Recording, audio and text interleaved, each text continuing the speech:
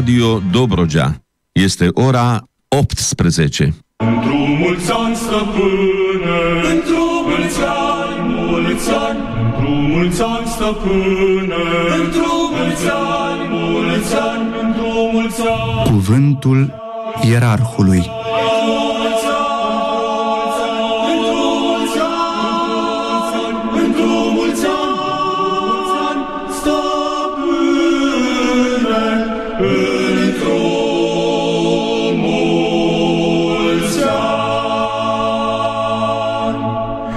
Doamne ajută, bun regăsit la o nouă ediție a emisiunii Cuvântul Ierarhului. Vă spune Părintele Eugen Tănăsescu aici la Radio Dobrogea pe 99 cu 7 FM în Constanța și împrejurim. Ne auziți, ne și vedeți pe pagina oficială Arhiepiscopiei Tomisului, pagina de Facebook Arhiepiscopia Tomisului. Suntem și pe canalul de YouTube Calea spre Mântuire. Astăzi, din nou, poposește în studio alături de noi, în al preasfinția sa, Părintele nostru, în al preasfințitul Părinte Arhiepiscop Teodosie, Arhiepiscopul Tomisului, sărut în dreapta în al preasia voastră. Bine ați revenit! Doamne ajută! Bună întâlnire cu dumneavoastră credincioși care iubiți pe Dumnezeu și vreți să aveți cale către Dumnezeu curată, limpede și sigură.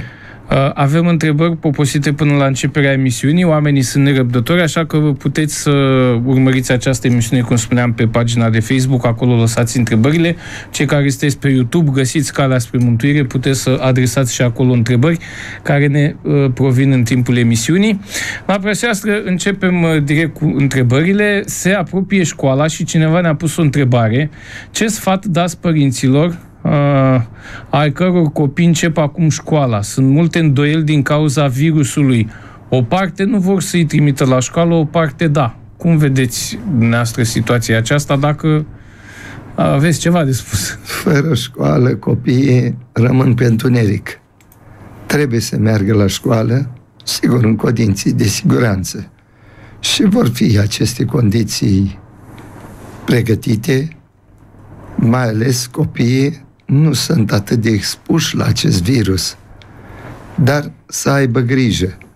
Sigur, cum să nu mergi la școală? Este o înstrăinare de tine însuți.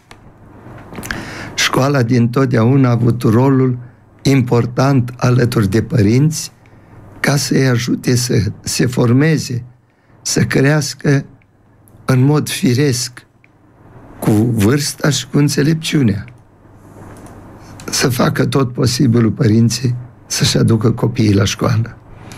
Da, se tot spune că educația este baza, dar acum pun eu o întrebare, am și eu întrebările mele. Ce fel de educație trebuie să oferim copiilor? Pentru că am văzut în ultima perioadă că uh, chiar religia este puțin marginalizată. S-a încercat așa oarecum tragerea ei mai către margine în programa școlară, nu se mai pun note, se pun calificative. Știți că am avut la un moment dat niște uh, opoziții, să spunem așa, când a fost cu înscrierea la ora de religie. Părinții sunt obligați la celelalte materii nu trebuie să faci cerere ca să studiezi, la religie trebuie să faci cerere ca să studiezi, așa a decis, mă rog, autoritatea.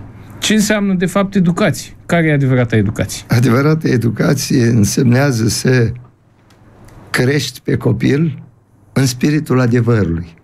Religia face mai mult ca orice materie parte din consolidarea adevărului în conștiința copiilor. Pentru că adevărul suprem este Dumnezeu. Și atunci noi sperăm ca religia să nu fie marginalizată. Vom găsi metode, mijloace, să împărtășim această oră de religie cu multă înțelepciune, cu multă însuflețire, să fie atracția copiilor și atunci această oră de religie va fi o necesitate pentru copii.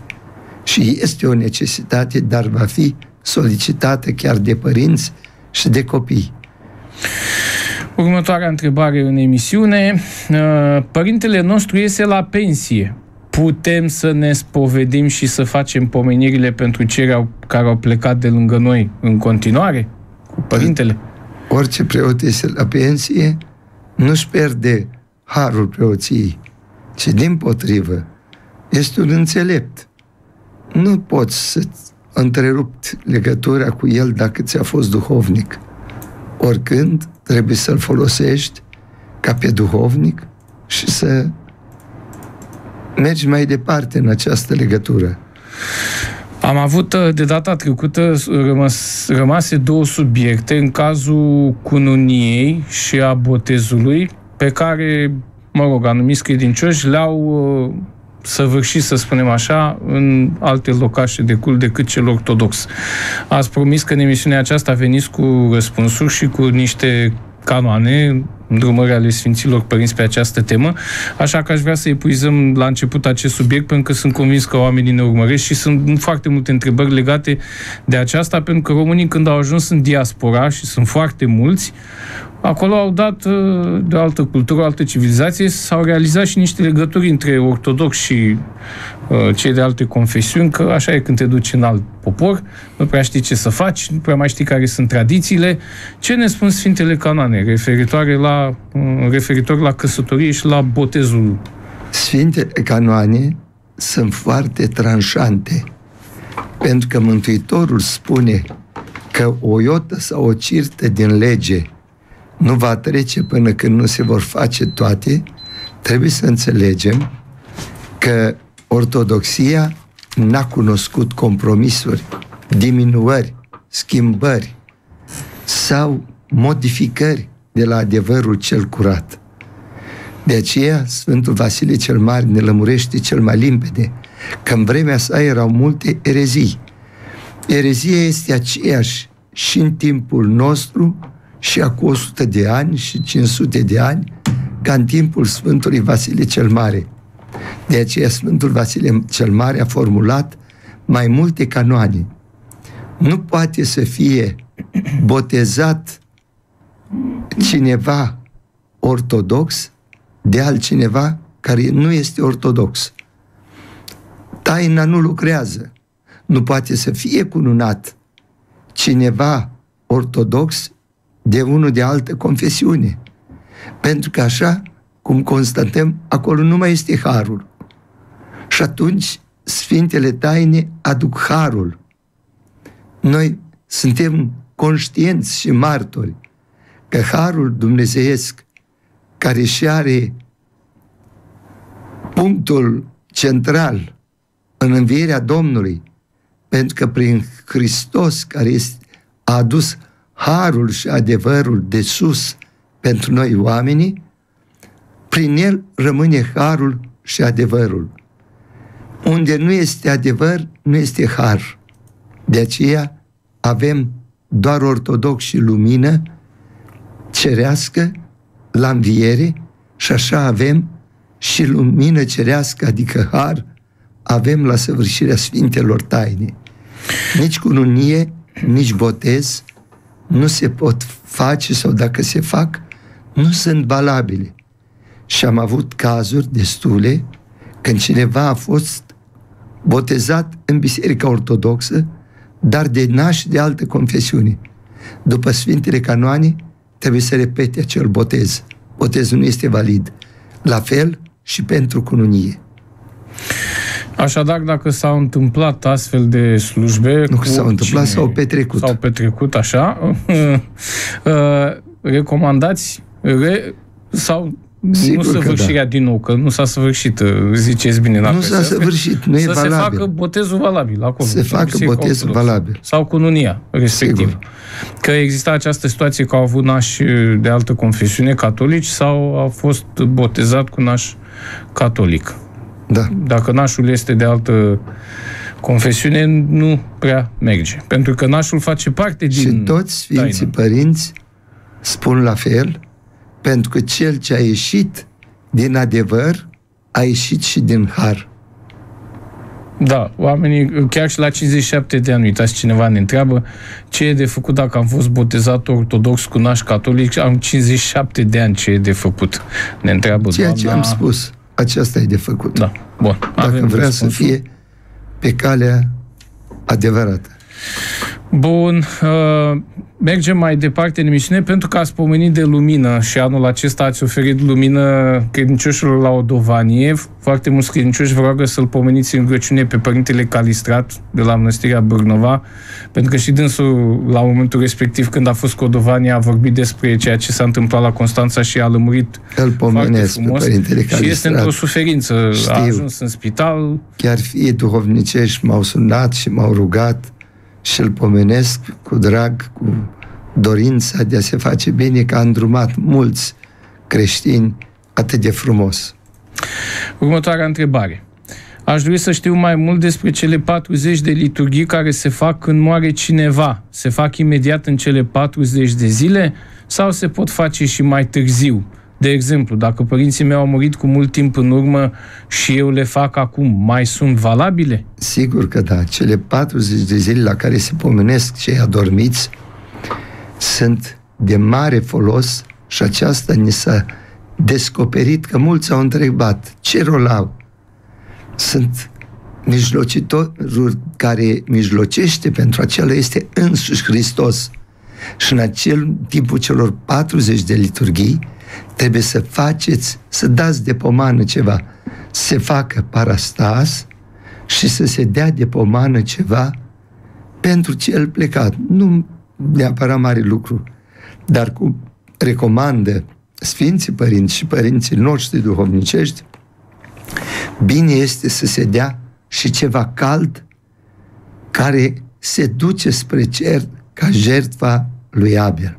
Pentru că am ajuns la Sfânta Liturghie, poate că e bine să explicăm credincioșilor mai pe înțelesul lor uh, care este puterea și folosul acelor miride care la momentul uh, respectiv, un anume moment al liturgiei, coboară de pe Sfântul Disc în Sfântul Sânge al Mântuitorului. Acele miride sunt, de fapt, pomenirile celor vii și celor adormiți. Să vorbim un pic despre folosul acesta al Sfintei Liturghii, că mulți oameni vin la slujbă, se uită, participă la Sfânta Liturghie, dar nu mulți văd și în, în pandemie chiar au avut ocazia și mulți erau bucuroși că v-au văzut slujind aici afară pe treptele catedralei și au văzut uh, ce înseamnă liturghie cu Sfântul Disc, cu Sfântul Potir, cum se prefac, cum vă rugați, cu... că de multe ori catapeteasma este mai tainic așa pentru ei. Taina cea mare a Sfintei Liturghii se lucrează mai ales în Sfântul Altar, dar îi cuprinde pe cei din biserică și pe cei ce sunt pomeniți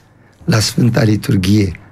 Și acolo, când se scot miridele, acele fărmituri din prescură, pentru vii, pentru adormiți, acolo noi ne aflăm cu Hristos prin acele miride.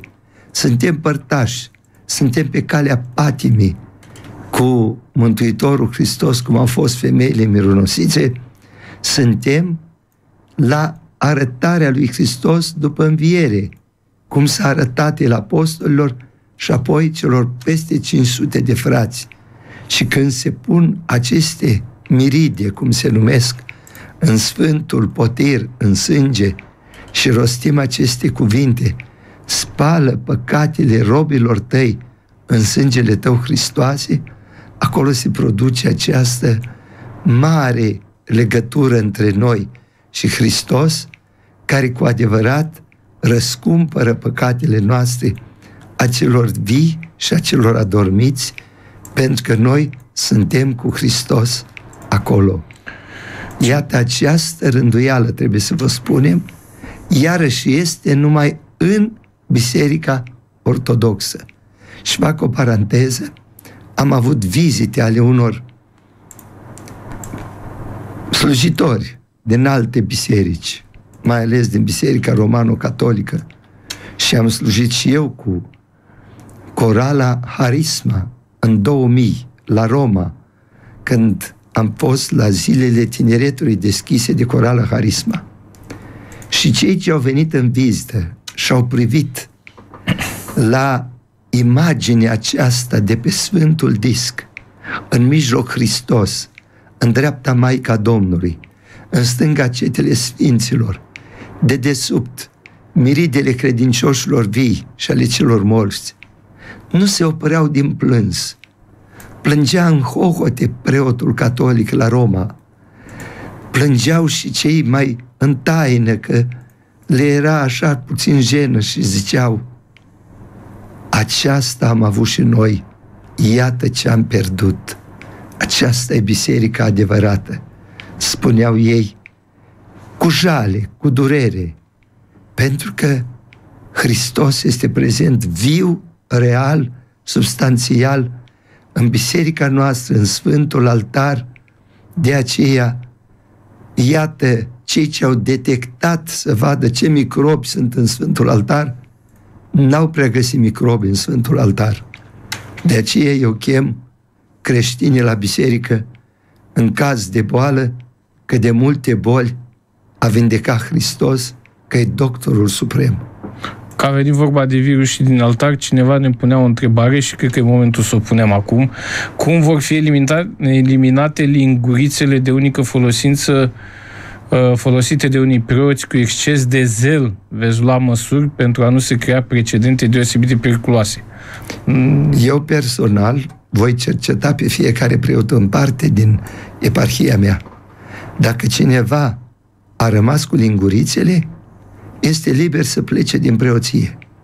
Este o dovadă de necredință, o dovadă de lepădare de credință, de fapt, pentru că nu s-a îmbolnăvit nimeni de la potir și nu se îmbolnăvește.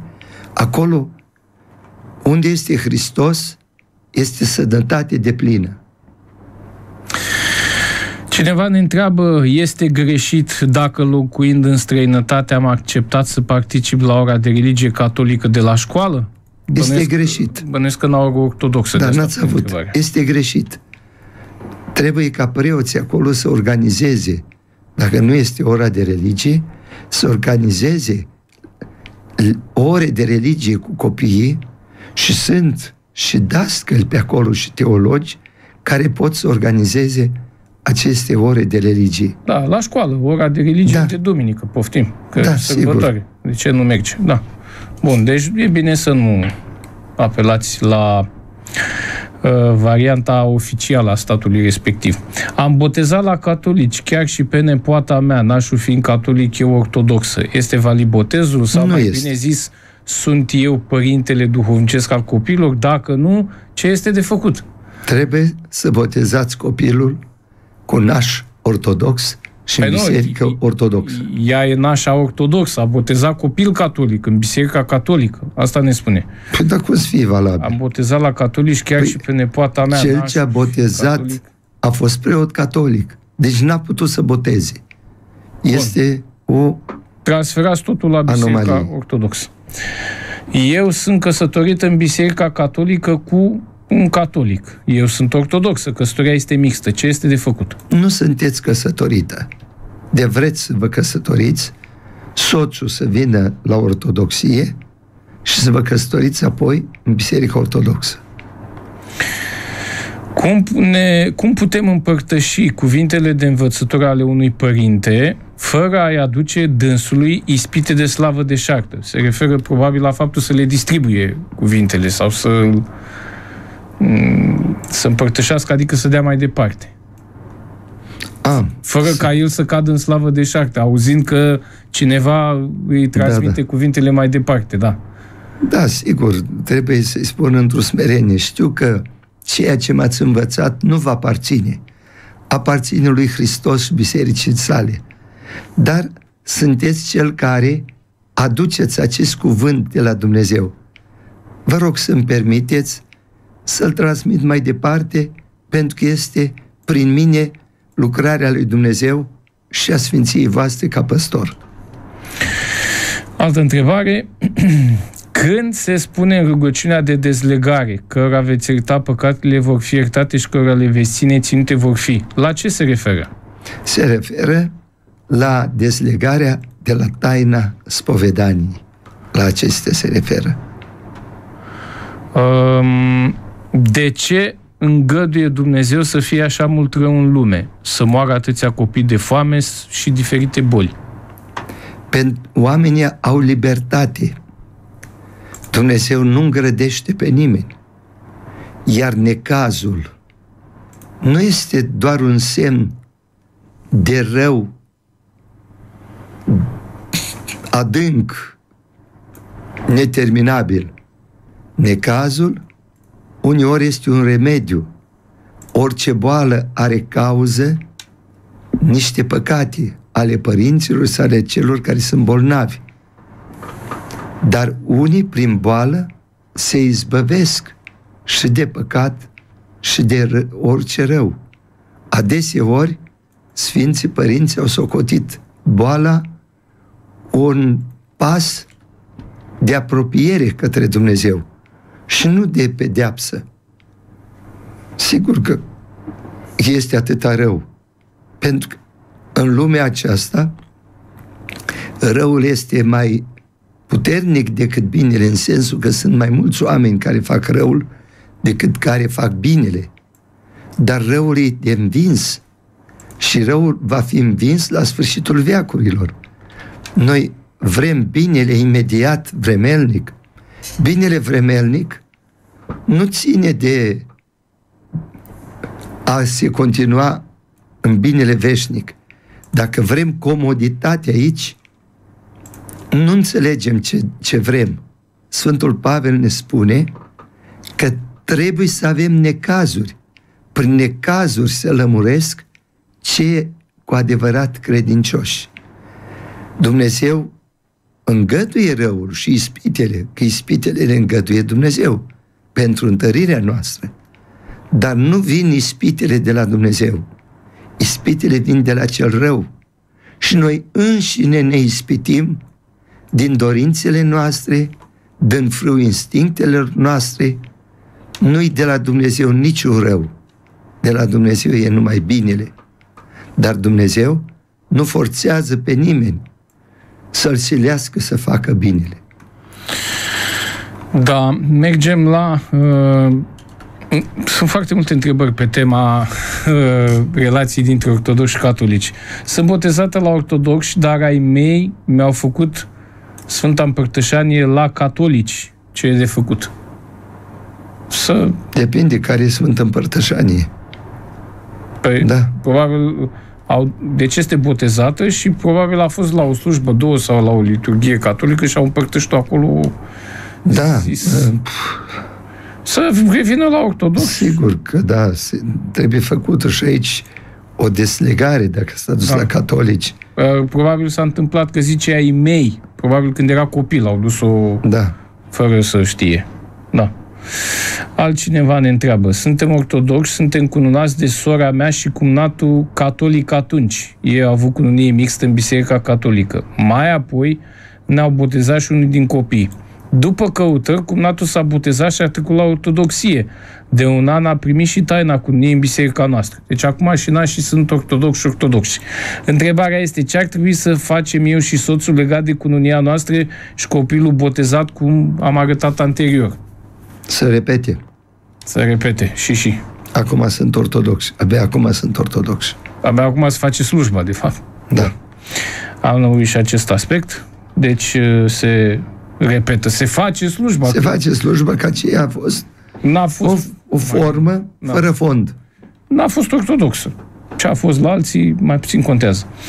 Este păcat dacă sora mea s-a despărțit de soțul ei care a înșelat-o de mai multe ori, ea ce poate face să nu, mai simtă, să nu se mai simtă vinovată, deși l-a iertat de mai multe ori, dar acum nu mai poate. Și vă mulțumește. Sigur. Dacă a înșelat-o, însemnează că el s-a despărțit în fapt de ea. Să vorbim un pic despre adulteri. De ce Hristos, totuși, alte uh, păcate nu sunt uh, dezlegătoare de cununie, să spun, nu-ți dau dispensă de cununie. Adulterul este motiv de divorț. De ce? Iată, adulterul este pus în păcatele cele din tâi grele. Să nu săvârșește adulter, Mântuitorul să nu ucizi, să nu furi. Iată, pune înaintea uciderii, înaintea furtului, adulterul. Adulterul este un păcat foarte greu, pentru că se strică rânduiala lui Dumnezeu, se strică lucrul lui Dumnezeu. Și cum spune în alt loc Mântuitorul, cine strică lucrul lui Dumnezeu, îl va strica Dumnezeu pe el. Cel ce trăiește fiind cununat canonic cu un soț sau soție și iată, intră, lasă legătura aceasta singura legală, canonică, firească și păcătuiește cu altcineva, săvârșește adulcer. Cel ce a primit pe cel care este soț sau soție să trăiască cu acea persoană, săvârșește și acel adulter, pentru că a intrat în ceea ce Dumnezeu a legat și a consfințit o familie. Chiar o femeie, dacă este înșelată de mai multe ori, ea trebuie să constate că a rămas fără soț. Sau soțul, dacă soția l-a înșelat, a rămas fără soție. Pentru că ei au stricat legătura făcută de Hristos.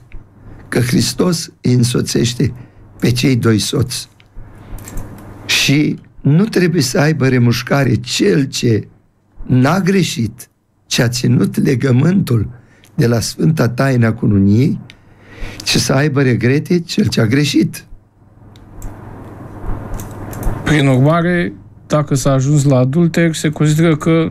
Dar dacă unul din soți, cel care a fost înșelat, soțul sau soția, vrea să ierte și să continue. Aici trebuie cu mare deslegare, cu canon, de la duhovnic.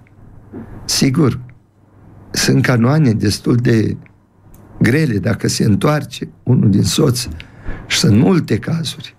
Sunt foarte multe cazuri de înșelări în familie, dar ca să fie cu adevărat liniștiți pentru data viitoare, iată, voi aduce exact din canoane ca să fie consfințit în ce condiții cel care a înșelat, cum poate fi reprimit de celălalt soț și iarăși să articulăm, cum am articulat acum, cu cuvintele Sfântului Vasile cel Mare.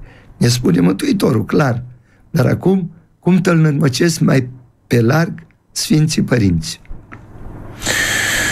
Um, dacă am botezat ca naș cu ani în urmă, în Biserica Ortodoxă, eu fiind ortodox, dar au fost și alți nași catolici. Uneori e o problemă că se pun mai mulți nași. E vreo problemă? Aș mai avea ceva de făcut? E are de făcut să-i spună finului că ceilalți nași nu sunt nași. Și nu poate considera nași dacă finul a crescut să-i spună cu metrilor părinților, poate n-au știut, au făcut o mare greșeală. Eu sper că mărturisirea de credință a făcut-o cel ortodox. Bun. Următoarea întrebare. Dacă o persoană este catolică și vrea să treacă la ortodoxism, în ce condiții poate primi botezul ortodox? În condițiile cele pe care le are Firește. rânduiala. Da. Deci nu Sigur. trebuie făcut nimic. Ba nu, ea în trebuie să plus, facă o da? cerere, Da. să arate, cererea ajunge chiar la erar, că vrea să treacă de la catolicism la ortodoxie și primește botezul ortodox. Nu doar mirungea, ci primește botezul ortodox. Ortodox. Da, deci este un act de făcut, acea cerere ca Da. să se arate Prin preot, libertatea da. voinței, propria Da. voință. Uh, Cineva vrea să audă de la înalt preasția voastră dacă visurile sunt toate de la Dumnezeu. Nici de cum. Puține pot fi de la Dumnezeu. Doar cele revelatorii. Ne spune oricine din psihologi, din Sfinții Părinți. Noi visăm ce admirăm ziua sau unii se sperie ziua și noaptea visează. Pe asta nu-i de la Dumnezeu. Este din preocuparea ta măruntă, superficială. Unii visează, cum îmi spun fiii duhovnicești, dacă nu mi-am făcut rugăciunea seara, noaptea visez urât. E normal că nu ți-ai luat îngerul păzitor lângă tine în somn și atunci a venit cel nepoftit. Îngerul satanii. Da, e o întrebare. De unde vin ideile? Și cineva a răspuns de la îngeri. De, de la îngeri. Cât de adevărat e. Păi în dreapta stă îngerul și în Da. stânga stă demonul. Da. Poți să ai fiecare, da. și din dreapta și din stânga. Uh, da, bine, acum să ne închipuim că toată ziua vorbesc îngerii cu noi, că nu... După aia s-ar putea să ajungem Dar la... toată ziua ne vechează. Da, asta este uh, evident. Pentru că Ne rugăciunea- vechează dacă le dăm voie. Da. Dacă ne-am dus după cel rău, îngerul stă mai departe. Nu ne poate veghea. De altfel, Scriptura ne spune că permanent se roagă la fața lui Dumnezeu pentru Sigur, noi, dar se roagă. trebuie să vedem și noi permanența asta. Uh, revine puțin doamna care a primit răspuns, dar precizează că, deși nașii au avut căsătorie mixtă, cununia a avut loc în biserica ortodoxă. E aceea situație ca și cum n-ar fi avut loc deloc? Cununia aceasta mixtă este o găselniță necanonică. Deci chiar dacă s-a întâmplat în biserica ortodoxă, Da, n-a fost. pentru că, iată, cercetând canoanele, vedem că este un fel de alt de bunăvoință, dar nu de canonicitate. Sigur că acolo, fiind în Biserica Ortodoxă, cu cine s-a cununat? Că nu poți să te cununi cu unul de altă confesiune. Nașii erau, uh, soțul era ortodox, nașii erau cununați mixt. Deci soții erau, uh, Ortodoxi, mirii erau ortodoxi. La data aceea, nașii erau cununați mixt, unul catolic, unul ortodox. După ceva vreme, catolicul s-a botezat și el ortodox și acum întrebarea era dacă repetăm cununia chiar făcută în biserica uh, ortodoxă. Să caut alte comentarii, nu vreau să spun de la mine, Da. să vedem ce spun Sfinții Părinți, că e foarte in- interesant. Da, e o dilemă. Și pentru mulțumim că- și de întrebare, pentru că, iată, sunt situații inedite. Da. Da. da. Să vedem ce spun Sfinții Părinți precis că ei au lămurit toate aceste probleme și le-au lămurit prin canoane. Bun. Ce trebuie să fac dacă am dus copilul la bioenergie când era mic? Să vă căiți foarte mult și să-l duceți la spovedanie și să îl dați mereu la rugăciune să scape de aceste rele. Bine, acum cred că nu-l mai duce, dar s-a întâmplat cândva și... Da, trebuie să se căiască foarte mult mama de această faptă care a fost anapodă. E bine să punem aghiazmă în mâncarea omului bolnav? Dacă nu poate să bea așa, uneori se pun niște picături când mănâncă, puțin, când începe să mănânce, la început, nu tot timpul. Da, acum eu mă gândesc că dacă poate să mănânce, de ce n-ar putea să bea? Întâi ar trebui să bea aghiazm, Da. nu să o pui în mâncare. E puțin... Se gândește că există o situație în care uh, unii au aversitate față de biserică și nu vor. Și există Dar nu- gândirea asta, lasă că îi pun în mâncare că nu știe el, știți, în taină, așa. N-are Un de- valoare. Un de lemn de la mazlu sau aghiazmă sau... Nu lucrează, nu are valoare. Un de lemn- Există felul ăsta de a gândi. Sigur. Dacă îi punem așa pe ascuns, sigur că nu, nu lucrează, că omul trebuie să primească darurile de la Dumnezeu conștient, nu inconștient. Da. Lipsește propria voință. Dumnezeu nu lucrează Sigur. contra omului. Ce semnifică mielul cel înjunghiat de la începutul lumii? Întreabă cineva. Mielul cel înjunghiat de la începutul lumii. Probabil n-a înțeles bine expresia. Să o luăm cu început. Cine e mielul cel înjunghiat? Mielul înjunghiat este Hristos. Și el Sigur este de la că începutul lumii. El este hotărât dinainte de începutul lumii ca să fie înjunghiat. Deci este Mântuitorul Hristos, Fiul lui Dumnezeu întrupat. Da, pentru cei care sunt uh, mai preocupați de Scriptură, să le spunem că încă de la alungarea protopărinților din Rai, Dumnezeu rânduiește trimiterea unui mântuitor, de când îi spune femeii. Atunci proclamă, Da, dar El este hotărât dinainte de veci. da, dinainte de veci. Atunci îl proclamă. Uh, Este depresia cu adevărat un duh, duh de amiază, numit așa, și cum putem să luptăm cu el? Depresia este o împuținare spirituală în care omul este golit de sine însuși și de har. Aceasta e depresia. Și se poate umple. Se umple prin rugăciune, prin continu, un continuu exercițiu de a înnoda intens relația cu Dumnezeu. Mai avem o situație interconfesională. Eu am cununat în Biserica Ortodoxă, fina fiind ortodoxă, iar finul catolic. Am încălcat rânduiala ortodoxă? Da. Deci mirii erau... Da. Mirii erau mixti. Și ce era de, făcut? ce e de făcut? Trebuia cel catolic să treacă la ortodox. Și se face nunta din nou. Aceasta e o practică foarte răspândită Da. în apus. De Vedem aceea din- compătimesc parohiile din apus și am, m-am exprimat de multe ori că n-aș putea să fiu ierarh acolo, pentru că ești silit la compromisuri. E foarte greu să fii ortodox amestecat cu alte confesiuni pe care din politețe trebuie să le accepti, îți dau locașul de cult, că așa și justifică slujitorii din apus. Dacă noi nu suntem îngăduitori cu ei, nu ne mai dau voie să slujim în bisericile lor. Iată, este o situație extremă. Dacă îmi permite să spun un lucru, aș vrea ca să se înțeleagă foarte bine, pentru că multora li se poate părea puțin uh, inedit sau curios faptul că dumneavoastră vorbiți despre repetare, de fapt despre săvârșirea canonică a slujbei.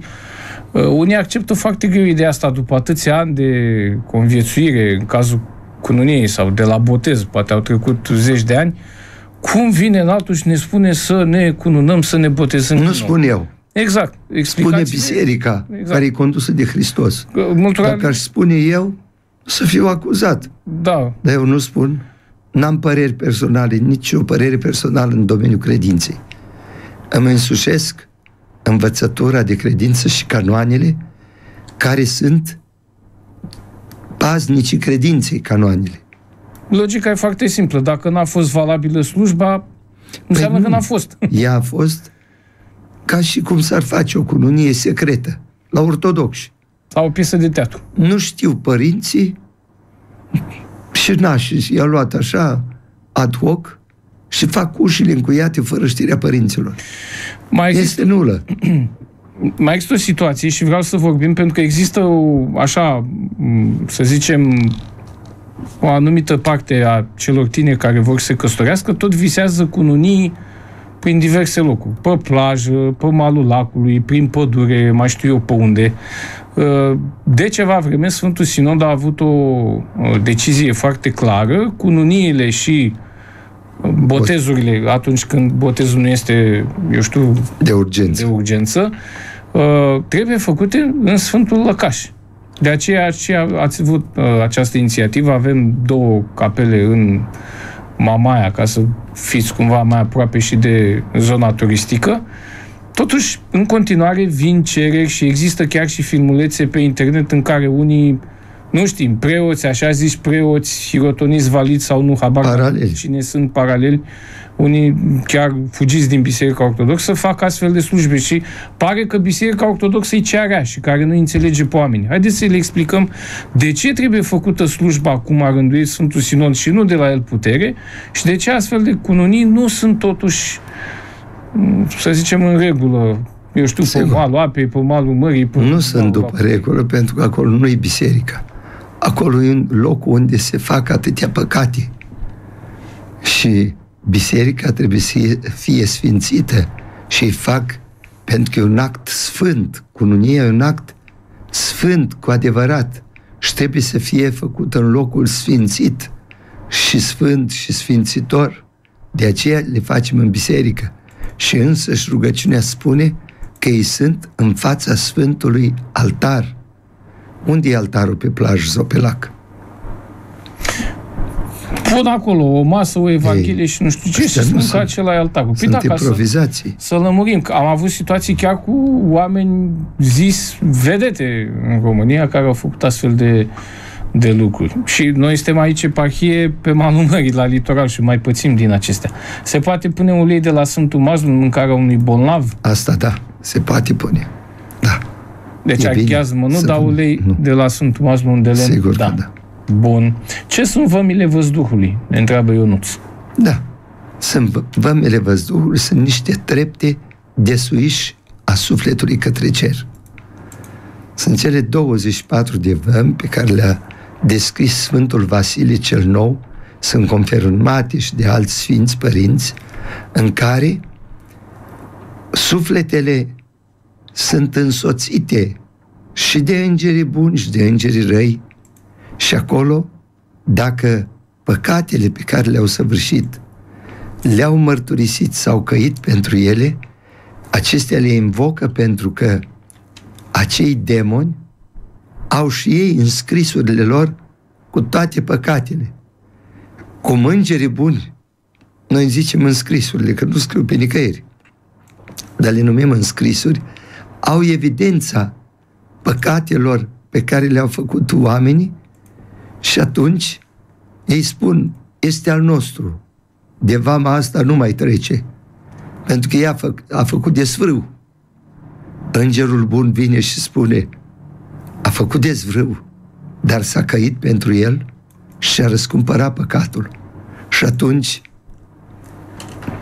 aducându-se această dovadă a smereniei, a căinței și a mărturisirii, este rușinat îngerul rău și trebuie să plece de acolo, să urce mai departe. Și așa se urcă de la vama 1 până la vama 24. Sunt niște trepte ale suișului sufletului către cer. De altfel, în Ortodoxie mai avem astfel de descrieri. Să ne aducem aminte că există o lucrare frumoasă, Scara, care de asemenea descrie urcușul către cer ca o scară în 30 de trepte. Sunt, Sigur. Sunt uh, lucruri foarte frumoase, deci cred că e foarte bine să citească cărțile respective. Sigur. La noi în România chiar s-au tipărit câteva ediții despre vămile văzduhului, chiar așa se cheamă. Cineva dorește o lămurire, dar dacă cununia a fost făcută în casă? Dacă a fost făcută în casă din motive de restricție, dar a fost făcută de preot valid și toți care au făcut cununia întâi au sfințit casa. N-au făcut într-o casă oarecare. Și din constrângere nu din mofturi. Atunci este valabil pentru că e făcută cu rânduială, de preot valabil și după toată rânduială. Am o prietenă pe stil vechi, ne zice Ana Maria, și zice că noi suntem căzuți din har, că toate minunile sunt pe stil vechi și nu pe stil nou. Da, este o părere cu totul subiectivă. Iată, cei pe stil vechi de la noi din România, nu vorbesc de bisericile care nu și-au îndreptat calendarul, sunt schizmatici. Schizma este păcat ca și erezia. Același păcat. Greu, că te-ai rupt din comuniunea bisericii. De aceea, păstorii, așa zis și păstori ai celor de pe stil vechi, nu sunt primiți să slujească la locurile sfinte, la Sfântul Munte. Sfântul Munte este pe stil vechi. Biserica Ierusalimului este pe stil vechi, dar aceia care s-au desprins și sunt schizmatici, cum sunt stiliștii noștri, nu sunt primiți să slujească. Harul este acolo unde este comuniunea. Acolo vine Sfânta Lumină, unde slujesc cei din Biserica Ierusalimului care nu și-au îndreptat calendarul cu cei copleșitori care sunt ortodoxi cu calendarul îndreptat. Și iată, lumina vine rugându-se împreună. O altă întrebare legată de domeniul interconfesional, dacă s-a efectuat cununia în biserică de nași ortodoxi și a doua pereche de nași era de altă confesiune, mai este valabil? Da, aici trebuie să discearnă foarte mult. Este un adaus. Nu sunt, de fapt, nași perechea a doua. Nu sunt. Nași Dacă, ortodoxi au fost. dacă primii au fost ortodoxi și mai citim și asta.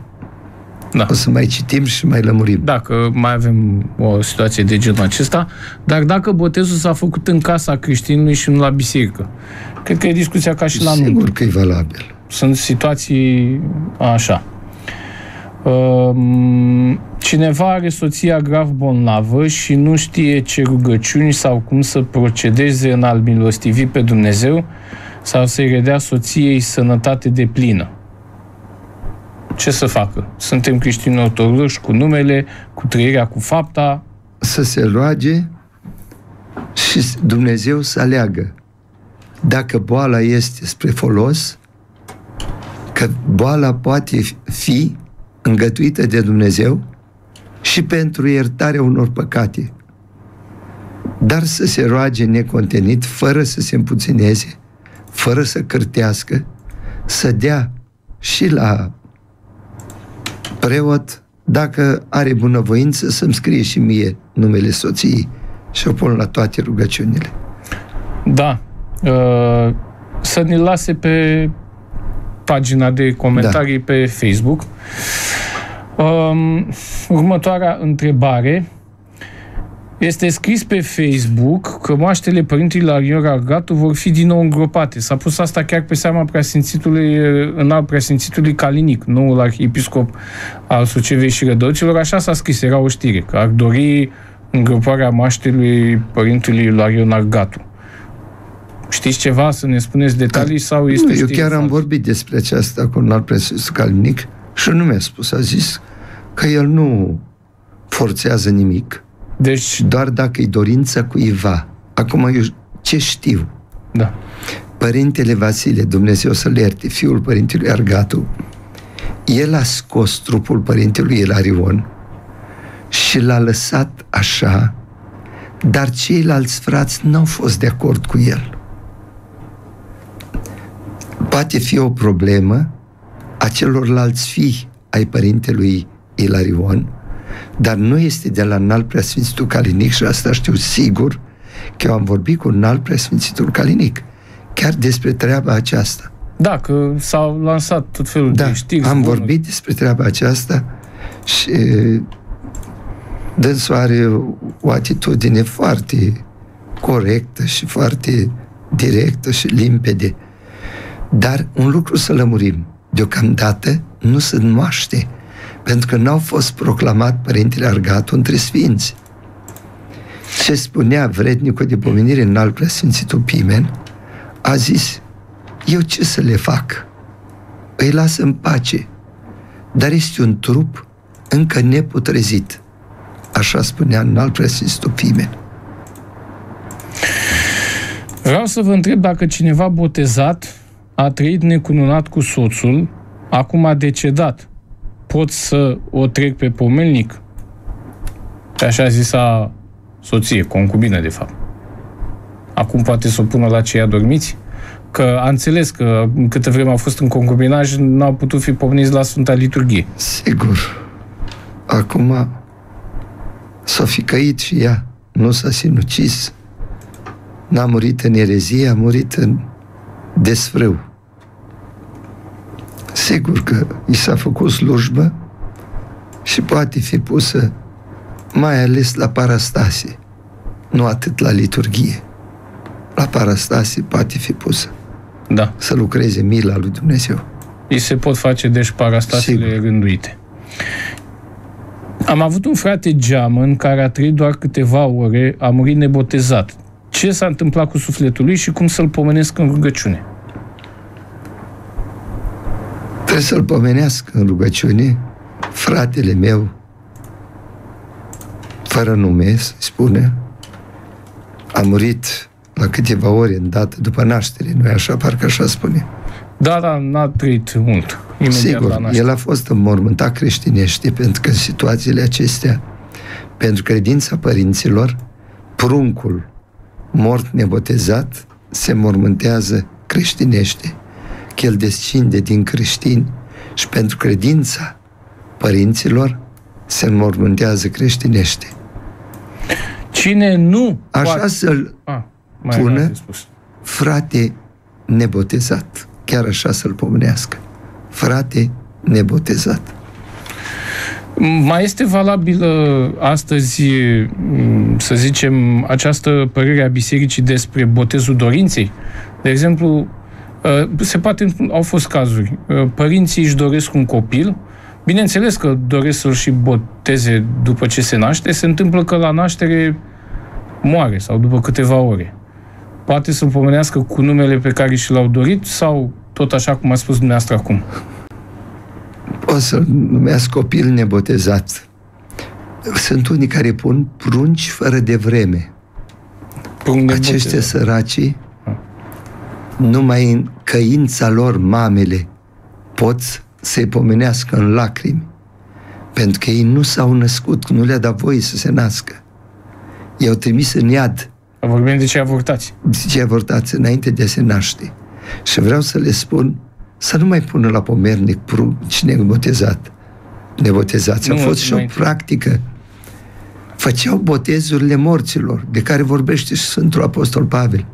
Niște tradiții, care sunt, de fapt, niște minciuni, niște escrocherii. Femeia care a avortat, zice că își botează pruncul avortat. Aduc niște pânze, că am auzit și am mi-au povestit niște preoți cum și le-am spus luați foc dacă mai faceți așa ceva. Cum puteți voi să botezați morții?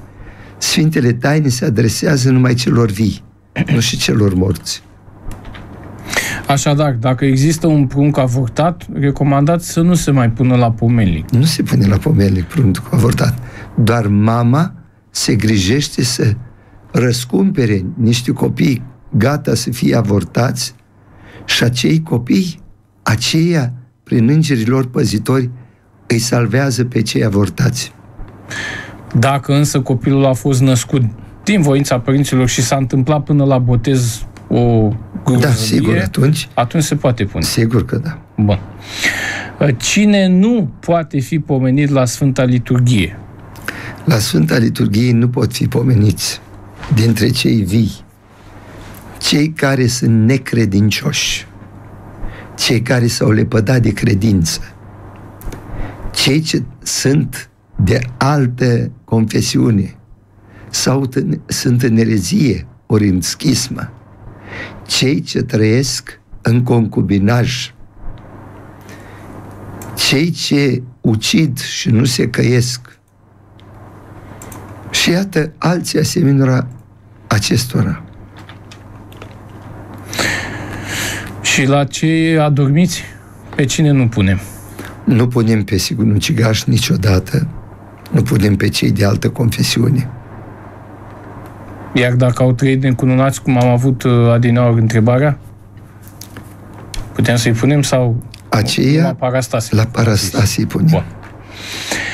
Dacă mă căsătoresc și nu vreau copii, este păcat înaintea lui Dumnezeu? Mare păcat, Vlad ne întreabă. mare păcat. Cum să nu vrei copii? De ce să te căsătorești? Pentru plăcere? Plăcerea fără jertfă este o sândă. Următoarea întrebare. Se poate împărtăși de mai multe ori cu o singură spovedanie cu sfatul duhovnicului, bineînțeles? Atenție la duhovnici, că au început să fie foarte relaxați. Eu nu vorbesc să critic, vorbesc o realitate obiectivă.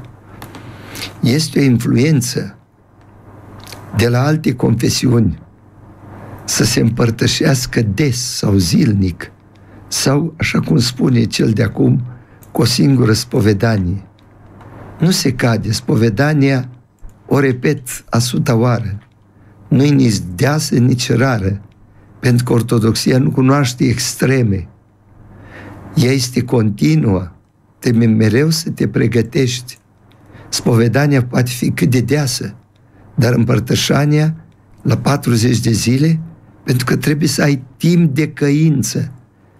Căința îți aduce iertarea păcatelor și nu Sfânta Împărtășanie, care este o pecete.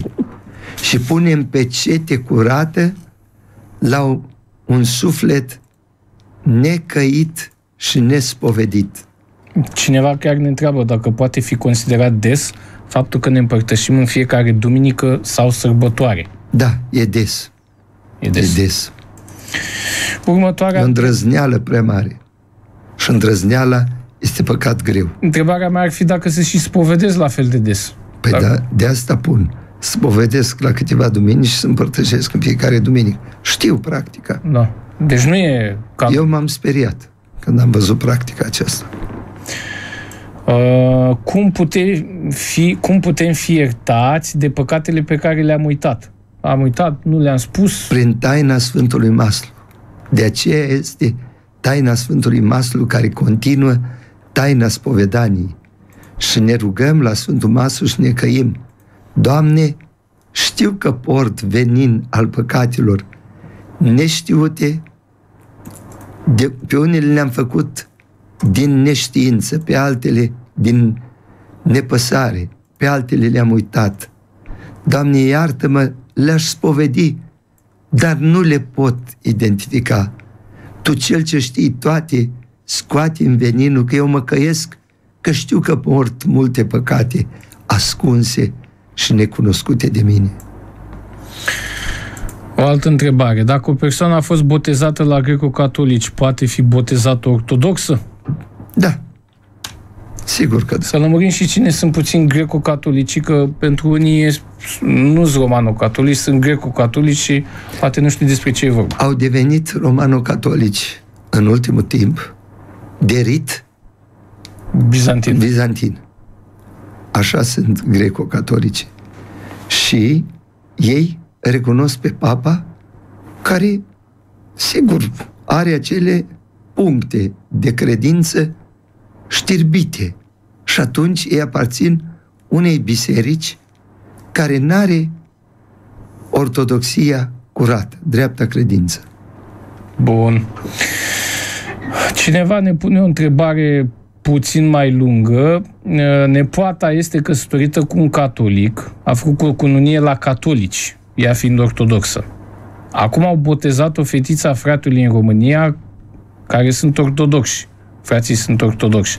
La botez a participat ca naș, nepoata ortodoxă și soțul catolic. În Biserica Ortodoxă Română a fost botezul. Este valabil botezul? Aproape. Vă dau lămurirea. Da. E puțin știrb. Da, fiind un naș ortodox, că oricum nu sunt cununați. Se consideră că nu sunt cununați. Dacă au fost uh, cununați mixt, se Da. consideră că oricum nu sunt cununați. Uh, cineva vă întreabă d- ce poate face dacă a fost sirotonin de niște așa ziși episcopi. Să socotească nul această hirotonie, să se întoarcă cu căință în Biserica Ortodoxă, pentru că a greșit amarnic și să o ia de la capăt cu căință. Mm, doresc să mă retrag la mănăstire. Ce condiții trebuie îndeplinite? În primul rând, să iubiți pe Hristos mai mult decât orice. Apoi, să fiți capabilă de jertfă, în primul rând de jertfa rugăciunii. Să vă lepădați de tot ce este lumesc ca să vă dăruiți lui Dumnezeu. Să acceptați smerenia care însemnează să suporți și nedreptate, și răutate, și orice pentru Hristos. Acestea le iau din rânduiala călugăriei, nu sunt de la mine. Așadar, este o viață aspră, viața de călugăr.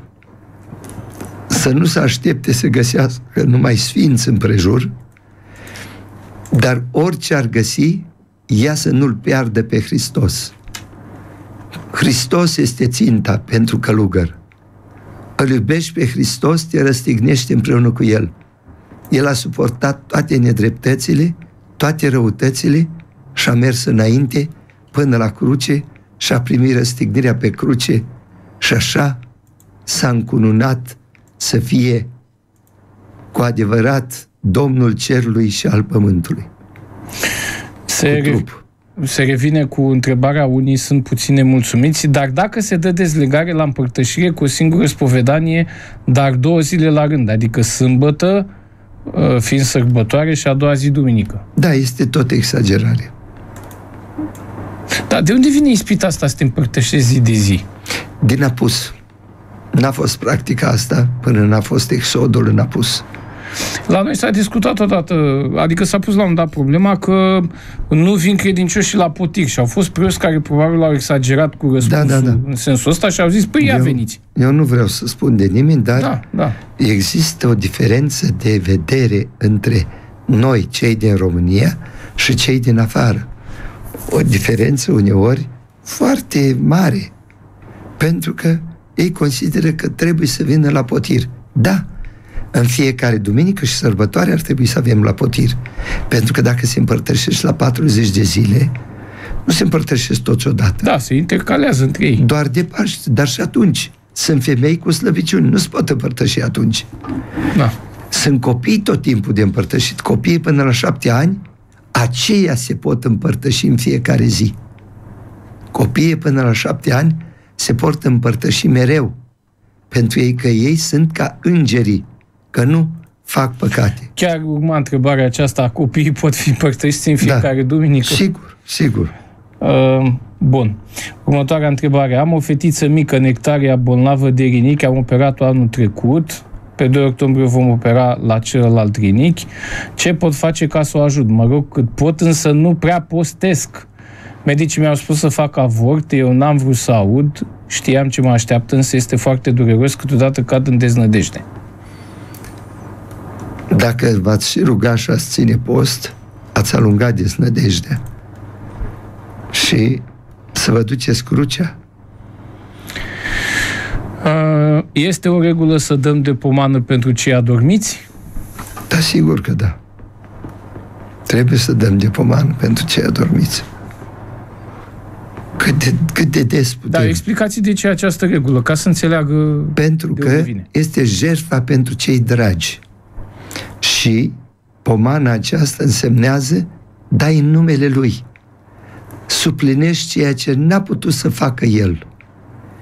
Dacă ți-e mamă, ți-e tată, ți-e frate, ți-e fiu, ți-e neam, dai pentru sufletul lui ceva de pomană și jertfa aceasta ajunge la Dumnezeu și Dumnezeu îi trimite o rază de lumină, știe El cum, cum nu înțelegem noi și nu pricepem noi, știe ce să facă.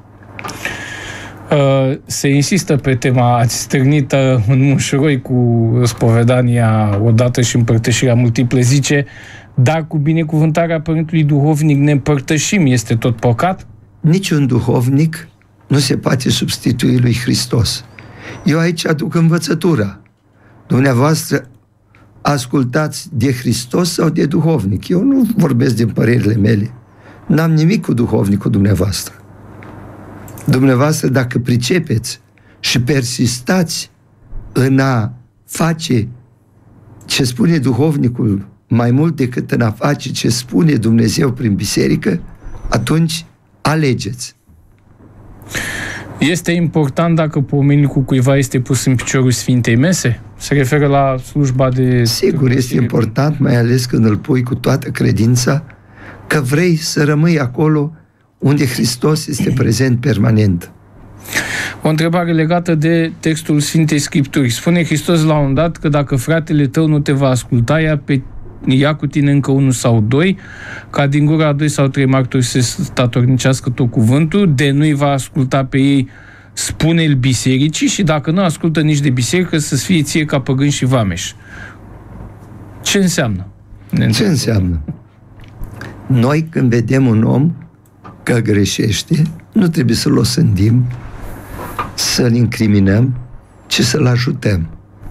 Frate, nu e bine să lovești pe cutare sau să furi sau să mergi să faci adulter. Îl sfătuiești. El nu te bagă în seamă. Știu eu mai bine, îți poate spune. Caută să-l ajuți, că nu trebuie să fim indiferenți față de cei ce greșesc. De aceea se pune această problemă. că cei ce greșesc în jurul nostru, dacă îi iubim ca pe noi înșine, trebuie să-i ajutăm să se și îndrepte. Și chiar așa se pune problema, cum ne spun Sfinții Părinți. Hai să ne îndreptăm. Adică mă îndrept și eu cu frăția ta. Nu ascultă nici pe al doilea, nici pe al treilea.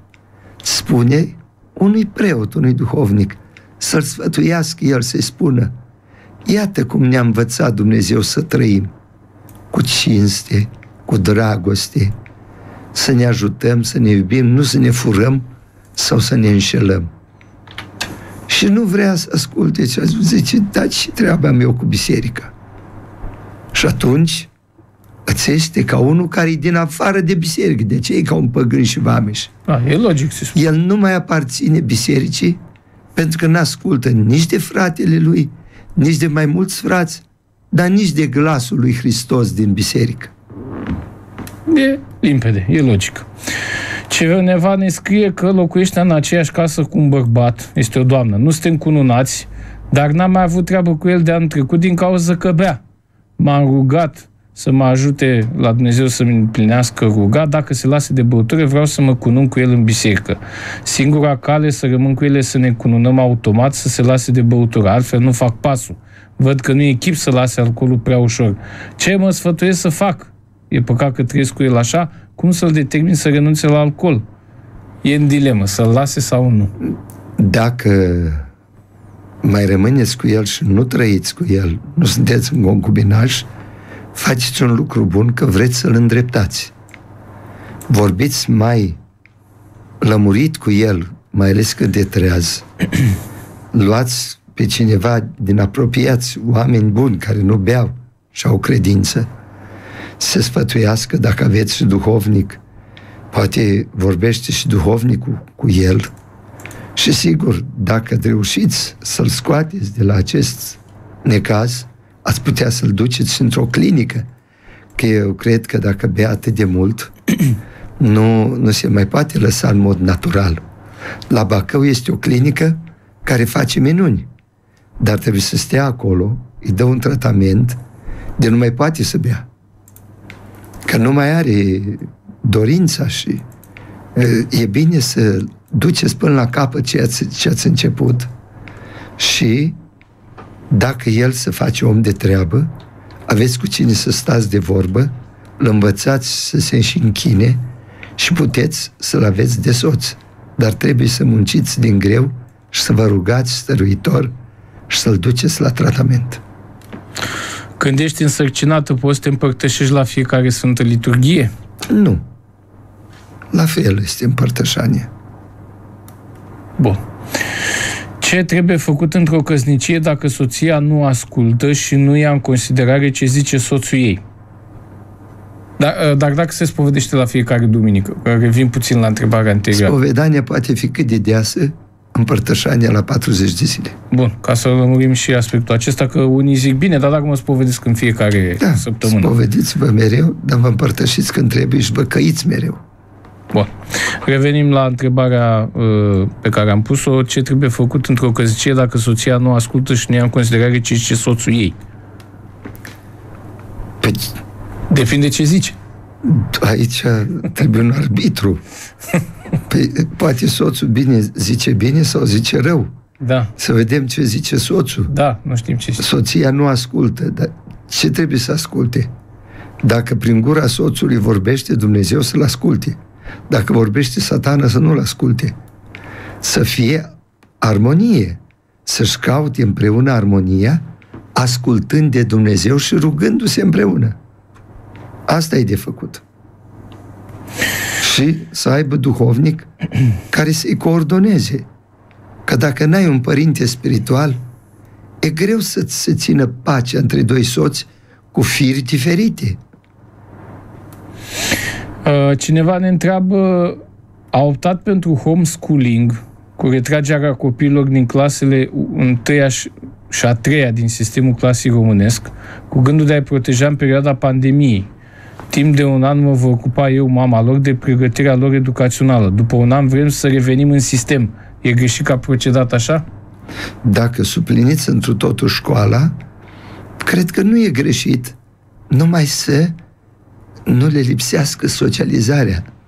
Pentru că mulți copii își doresc, după ce au stat în comunitate, să mai întâlnească. Dacă se suplinește școala și procesul de educație și este foarte bun, dacă s-a împlinit scopul învățătorii, să se mai întâlnească cu copiii, să aibă această socializare. Acum discuția este și de legalitatea procedurii, dacă se permite și legea să-l scoți Da. și să-l aduci înapoi, că Da, nu știm sigur. în ce condiții se echivalează ceea ce Ei spuneți pun în problema adresă. frumos, Da. cald, Da, părintește. Da, da.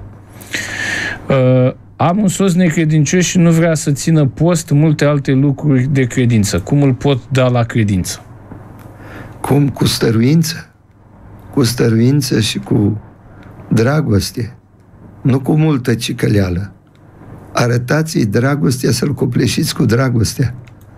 Și când vorbesc de dragoste, e dragostea cu vorbă bună, cu multă înțelepciune, cu multă răbdare și, până la urmă, să mai stea de vorbă cu oameni credincioși, să nu creadă că numai dumneavoastră aveți credință, să vadă și la alții exemplu credinței. Dacă nașii copilului meu nu l-au mai băgat în seamă de la vârsta de 3 ani, copilul are acum 16 ani, ce ar trebui să fac? Să-l suplinească pe naș.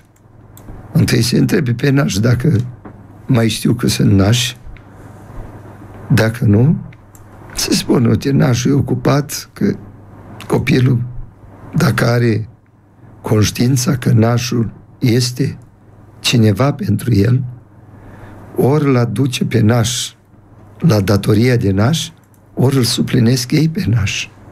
Dar să nu fie copilul lăsat fără o s- sfătuire.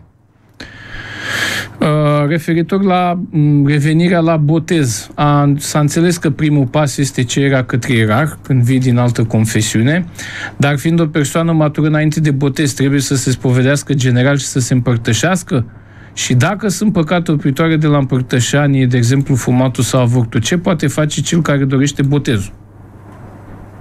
Păi fumatul să nu mai fie. Doamne ferește. Bine, ideea este că împărtășania are loc după botez, că nu poate fi Da. înainte de botez. Se Bine. face botezul și apoi se vede Să, apă- botezul se face cu mirungerea și cu împărtășania. Într-adevăr, botezul iartă păcatele, dar tot trebuie să-și răscumpere avorturile. Pentru că acelea sunt o realitate ale vi- a vieții ei. Dar fumatul să nu mai existe. Cine nu se lasă de fumat, acela nu, nu se poate nici ruga. Da, o să mai avem o întrebare cu fumatul, acum nu mai găsesc pe aici, că țin minte că mai era una. Uh, Putem pune apă peste aghiazma mare? numai în ajuns se pune, atunci se poate pune. În aghiazma din ziua bobotezei nu se înmulțește, doar în ajun. Ajunul bobotezei. Cum mângâie Dumnezeu sufletul omului când omul este în suferință? Când omul este în suferință, dacă se roagă, simte razele mângâierii lui Dumnezeu. Noi prezentăm viețile Sfinților în fiecare zi, chiar Sfântul de astăzi, Sfântul Antim, Episcopul Nicomidiei, când îl amenința împăratul cu munci grele și a zis, pentru mine sunt mai ușoare muncile decât alintările, că îi propunea tot felul de ranguri. Pentru că cine are credință, iată, în suferințe, în necazuri și în boală, nu se împuținează, ci se întărește. Credința nu depinde de cât de ușoară ne este viața. Din potrivă, ne arată imaginea de pe Sinai, când Moise s-a întâlnit cu Dumnezeu, când spinii necazurilor, îl putem întâlni pe Dumnezeu. Mergem la următoarea întrebare. Uh, Fostul cumnat a dispărut. Nu știm nimic de el de peste șapte ani. Am dat pomenile și pentru găsirea lui, dar nu l-am aflat. Ce trebuie să facem? Cum să-l mai pomenim? O persoană dispărută de șapte ani? Sigur, Nu se îl știe. pomenim mai departe că a dispărut, dar La real, La vii. Sigur că ei la vii. Sau la morți. Cum spunem la vii dacă nu-i? Păi nu, nu, a dispărut, dar nu știe dacă e mort. A, Întrebarea e... Uh, trebuie eu, pomenit atunci condiționat. cum? La vii dacă este viu și la morți dacă este mort. Dacă sunt astfel de situații... Păi da, avem și la botez. Nu știm dacă cineva a fost botezat. Și nu putem să stăm în această nesiguranță. Și Dumnezeu este Cel care știe. Ce nu știm noi, Dumnezeu știe. și atunci Și se spune, botează se botează dacă e- nu este botezat. și, a, și aici se pomenește la Pentru fel, că este- cu condiționat. Da. Bun. Că asta era întrebarea. Nu știe nici dacă a murit, nici dacă mai trăiește Da. și nu știe cum să facă. Trebuie să-l pomenească și așa și așa. Bun.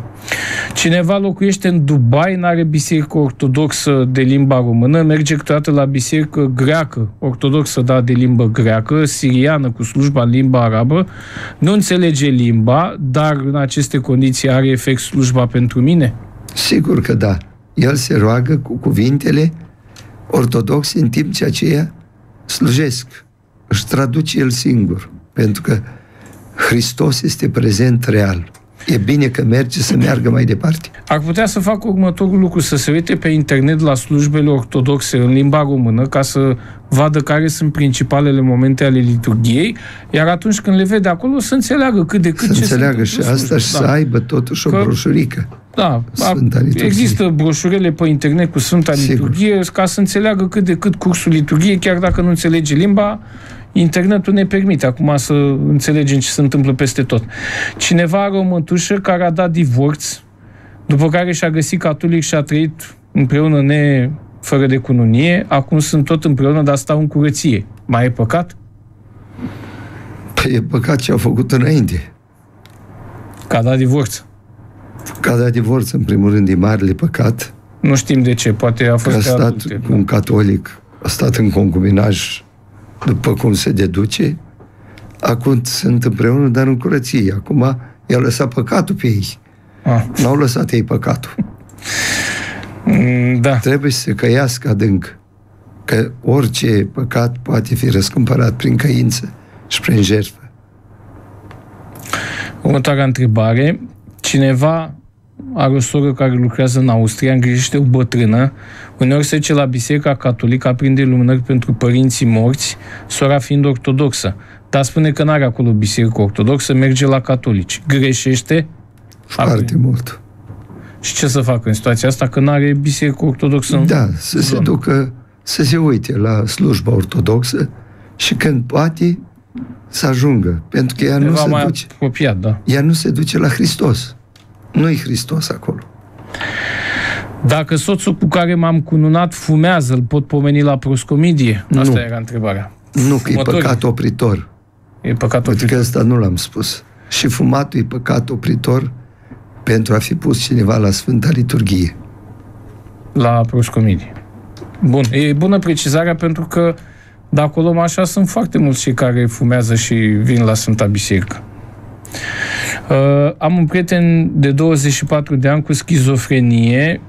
Credeți că terapia prin post negru ar fi eficientă?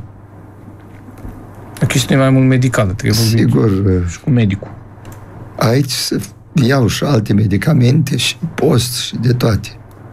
Da, Am trebuie, întâlnit oameni cu schizofrenie care s-au echilibrat. Prin rugăciune s-au echilibrat.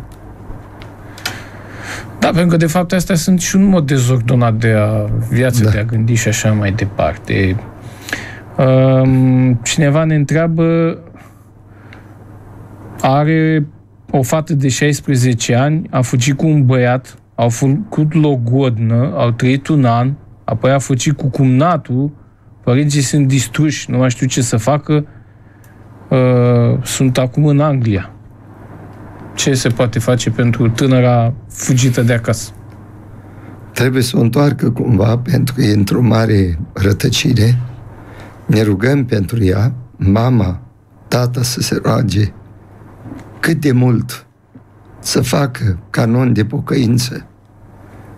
Paraclisul Maicii Domnului să ceară mila lui Dumnezeu și ajutorul Maicii Domnului pentru că sunt și niște urmări ale unei scăpări din grija părinților.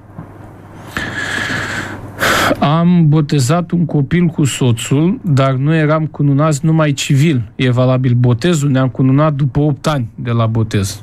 Nu e valabil, nu că e valabil botez, nu e valabil cununia. Nu, dar nu erau cununați. A botezat fiind... uh, Ei trăiau în Nu concubinaj. vezi că au botezat cu soțul? S-au făcut rude și apoi s-au cununat? A, nu mai e valabilă cununia. Am înțeles. Nu ești atent. Ei s-au făcut frați de botez și apoi s-au cununat. Este- Da, bun, dar întrebarea e, să o luăm prima. Va, botezul e valabil, nu? Botezul e valabil, Bun. Cununia dar nu mai e cununia este... Bun, bun, bun. Da. Deci, Ei sunt Doamna rude Rudica, apropiate. acum aveți o problemă că nu trebuia să vă mai cununați. Da. Doamna Rodica, dacă este pe Facebook, Mare- să audă. Mare păcat ați făcut că ați botezat împreună. Nu știu, n-a știut preotul, nu i-ați spus. Probabil nu eu. Nu poți să botezi cu cineva, să cununi cu cineva și apoi să te căsătorești. Că devii rudă. Rudele nu se cunună între ele. De aceea e mai sigur să fie un singur naș la botez, că Sigur, pot fi, dacă soți, pot fi dacă sunt să deja fie soți. Dacă, împreună. Dacă sunt deja soți. Uh, Dar în cazurile acestea, când oamenii nu sunt cununați, e mai sigur să fie Eu am un avut singur. cazuri și am aflat după botez și le-am interzis să mai cunune. Și dacă s-au cununat acum, ce să facă? E un mare canon. Să ne întrebe că dispunem, dar Da. nu public. Da, da, da, bun. Că acum doamna Rodica chiar e într-o problemă O problemă mare. mare. Dumneavoastră ar trebui să nu mai stați împreună. Sunteți soț civil, dar religios sunteți în incest. Și ar fi o soluție să trăiască în curăție? Ar fi o soluție. Și într-o căință perpetuă. Ce ne puteți spune de mitropolia de S- la Slătioara? Este o mitropolie paralelă, să zicem, a celor de pe stil vechi. Ei nu au continuitate, nu au succesiune, sunt desprinși de Biserica Ortodoxă Română și de Biserica Ortodoxă Universală. Pot spune că nu sunt de fapt nicio mitropolie? Nu sunt, numai nu o sunt. organizație. Sunt o organizare de mitropolie, dar nu sunt mitropolie. Da. Uh, Stau în Italia, merg la biserică pe stil vechi, ajut mult la biserică, fac bine sau greșesc? Acum nu știm ce înseamnă biserică pe stil vechi. Dacă, Dacă e alu Avondie sau nu știu mai care sunt pe acolo, niște schizmatici care și-au făcut biserică, așa zisă, pe stil vechi, faceți o mare greșeală. Întoarceți-vă la Biserica Ortodoxă. Deci dacă este românească, biserica nu e canonică. Dacă aparține însă de Patriarhia Rusiei, de exemplu, că ei încă au calendarul neîndreptat, Da. atunci da. Deci dacă cumva e biserică românească pe stil vechi, clar nu există așa ceva. Nu. Nu există biserică românească pe stil vechi. Nici în România, nici în străinătate, nici pe altă planetă, nicăieri. Preotul la care m-am spovedit nu mi-a dat voie să mă împărtășesc. Asta înseamnă că nu am voie niciodată? Depinde. Cred că nu Trebuie i-a să spus lămuriți. Bine, preotul, Nu da. v-a dat voie acum, dar trebuie să dă un termen, să dă un canon. Reveniți și vă lămurește. Cum putem dobândi mai ușor pacea inimii și a sufletului? Cum să o dobândiți? Stând în legătură cu Dumnezeu. Păi, Hristos este pacea noastră. El ne armonizează. Pentru că, și cum? Prin rugăciune cu credință. Prin rugăciune cu credință, Harul lui Dumnezeu rămâne în noi. Și noi nu trecem nici în mânie, nici în enervare, nici în violență, nici în jignire, nici în nedreptate. Când ai pacea sufletului, ești cu Dumnezeu. Când nu mai ai pacea sufletului, te-ai desprins de Dumnezeu. Uh, o întrebare foarte interesantă, pentru că ați spus că la 40 de zile ne împărtășim, deși ne putem spovedi ori de câte ori dorim. Dacă mor în aceste 40 de zile, nu mă duc în iad pentru că am murit neîmpărtășit? Nu. Ce Pentru înseamnă că ești în împărtășit? timpul pregătirii pentru împărtășanie. Și dacă simți nevoia, te spovedești și nu te duci în niciun iad. împărtășania durează 40 de zile. Mi-aduc aminte de oamenii din popor care cereau mai repede împărtășania și ei știau că numai preoții se împărtășesc mereu, că altfel n-au cum să facă Sfânta Liturghie. Și ce, dar ce aceea, ce vrea atâta împărtășania așa des? Ea se pretinde a fi preot.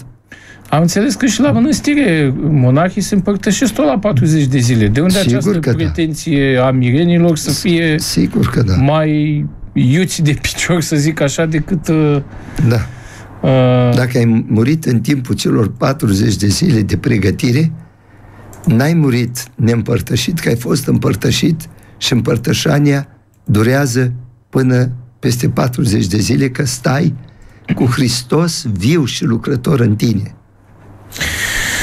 Unii părinți sunt împotriva actelor biometrice cu chip și spun că acceptarea lor este lepădare. Ce ne puteți spune despre acest lucru? Este o confuzie. Cum să fie lepădare? Pe acolo avem informația noastră, nu-i așa? Ceea ce suntem. Nu este nicio lepădare. De ce să fie lepădare? Asta am discutat și cu Părintele Justin Pârvu, care Da. avea această idee Păi a fost la un moment dat mare inoculată. tulburare. Și a cerut iertare. Zic, părinte, că sunt niște bare care sunt 666. Zic, dar uh, în Sfânta Scriptură și am descris la Apocalipsă. Iată, 666. Scrie în Biblie. Rupem foaia asta?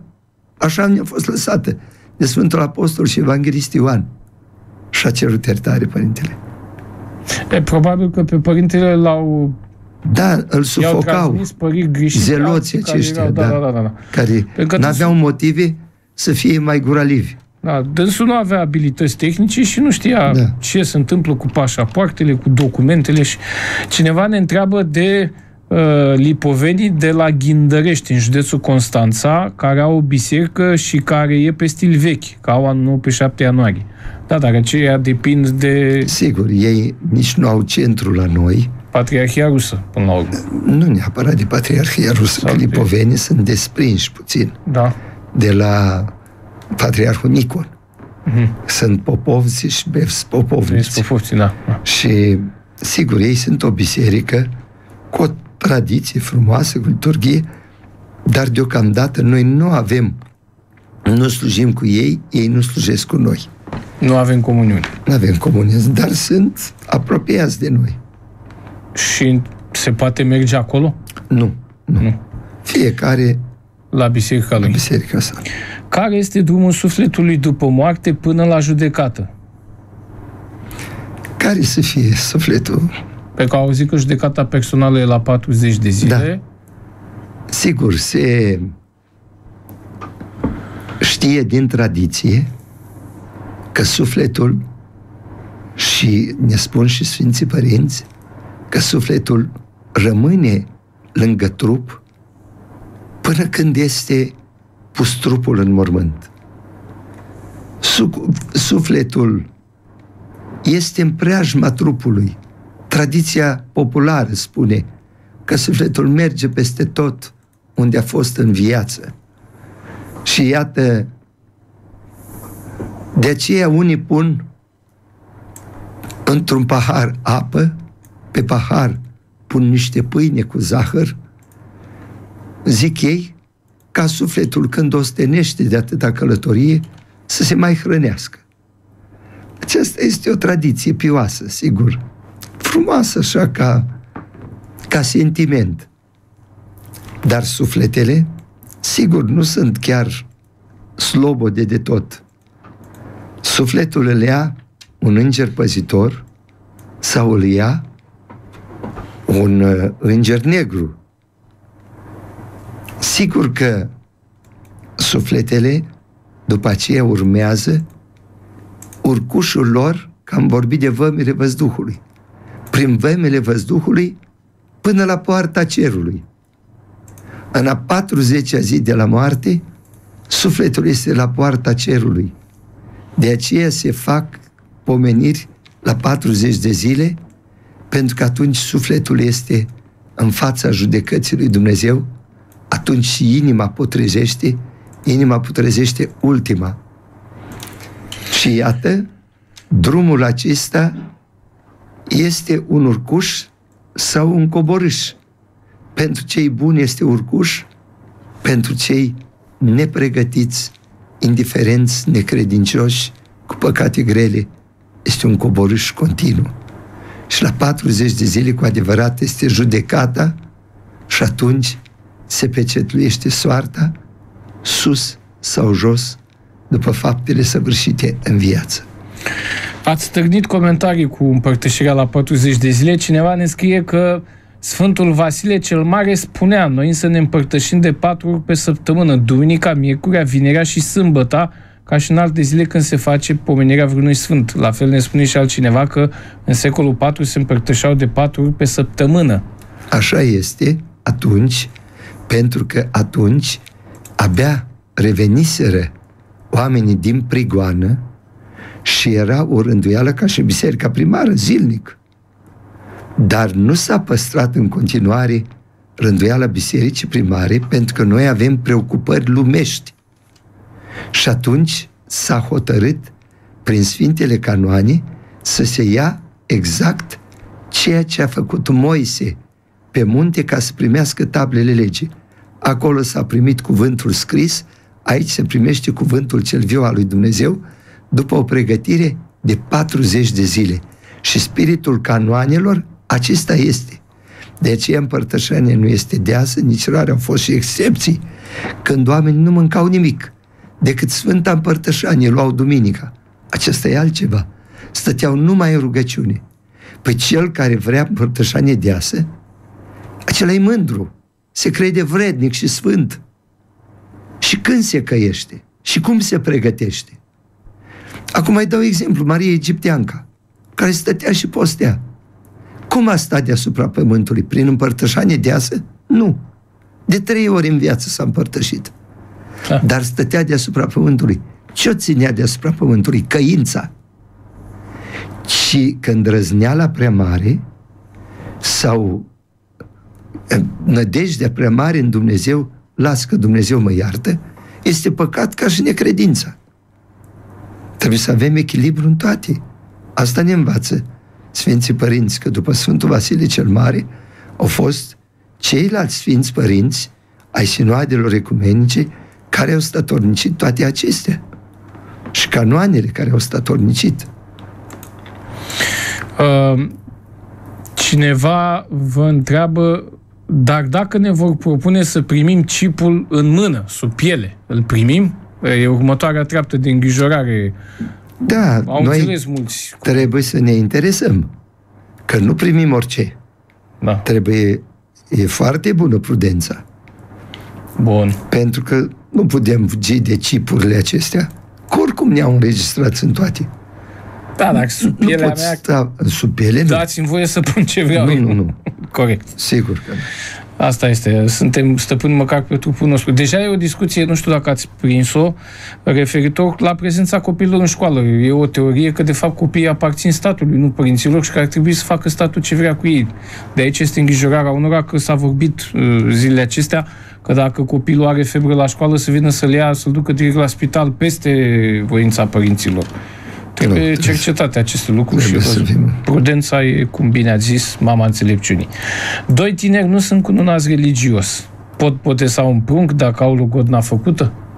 Dacă au logodna făcută și trăiesc în concubinaș, ei nu mai au voie să facă cununie, dar să mai și boteze. Mm. Trebuie să se căiască foarte mult.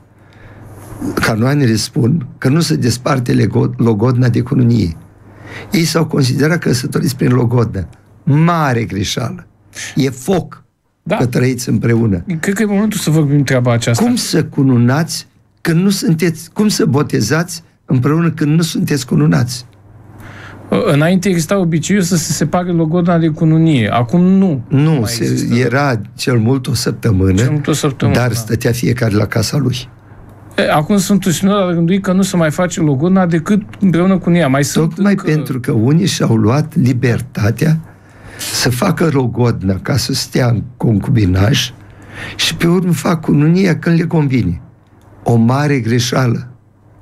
O mare greșeală. Bun, deci aviz celor care mai vin la preoți astăzi și spun vrem și noi numai, dar numai să-i logodim, nu mai stăm. Nu, nu. Mai există încă această părere în popor că vrem numai să ne logodim deocamdată. Deci nu se poate.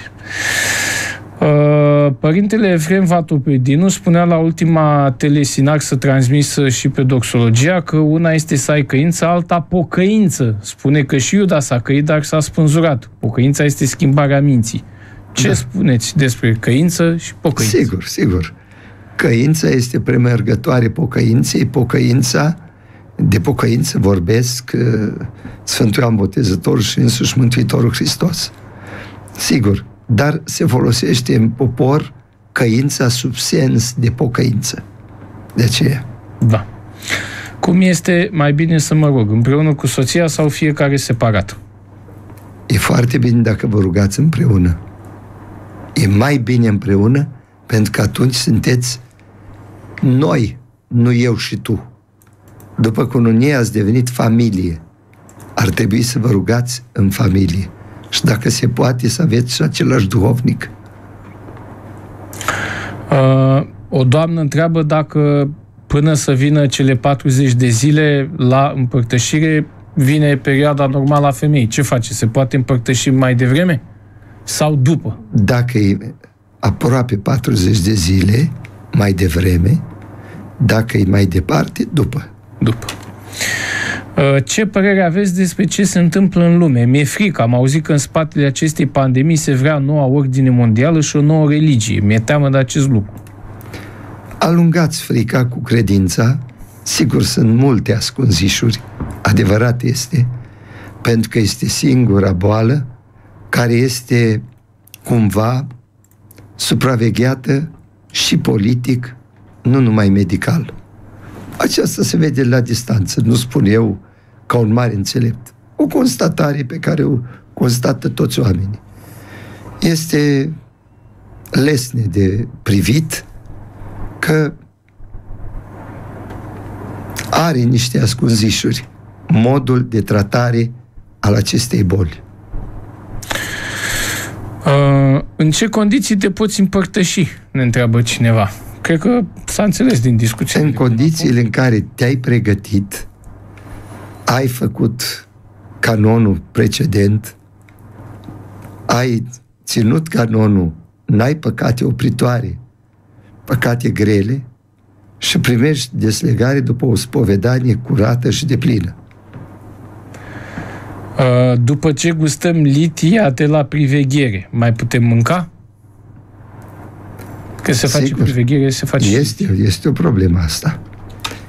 După canoane, dacă ai fă- mâncat litia și stai și la utrenie, după utrenie, nu te mai, nu mai mănânci, mai ales dacă a doua zi vrei să te împărtășești. Și dacă nu stai la utrenie, ar întreba un iscoditor ca să îi lămurim. Sigur, dacă ești cu conștiința curată, nu reziști, e de vreme, vrei să te duci să guși ceva și nu iei litia, ți-o păstrezi după aceea. Cineva suferă de cancer, vă întreabă dacă se poate împărtăși mai des. Nu trebuie mai des, tot la fel. Um, duhovnicul meu nu-mi dă canon la spovedanie, deși eu vreau să-mi dea. Mă rog mult, dar nu-mi dă canon și sunt mârnită pentru asta. Ce să fac? Ce să faci?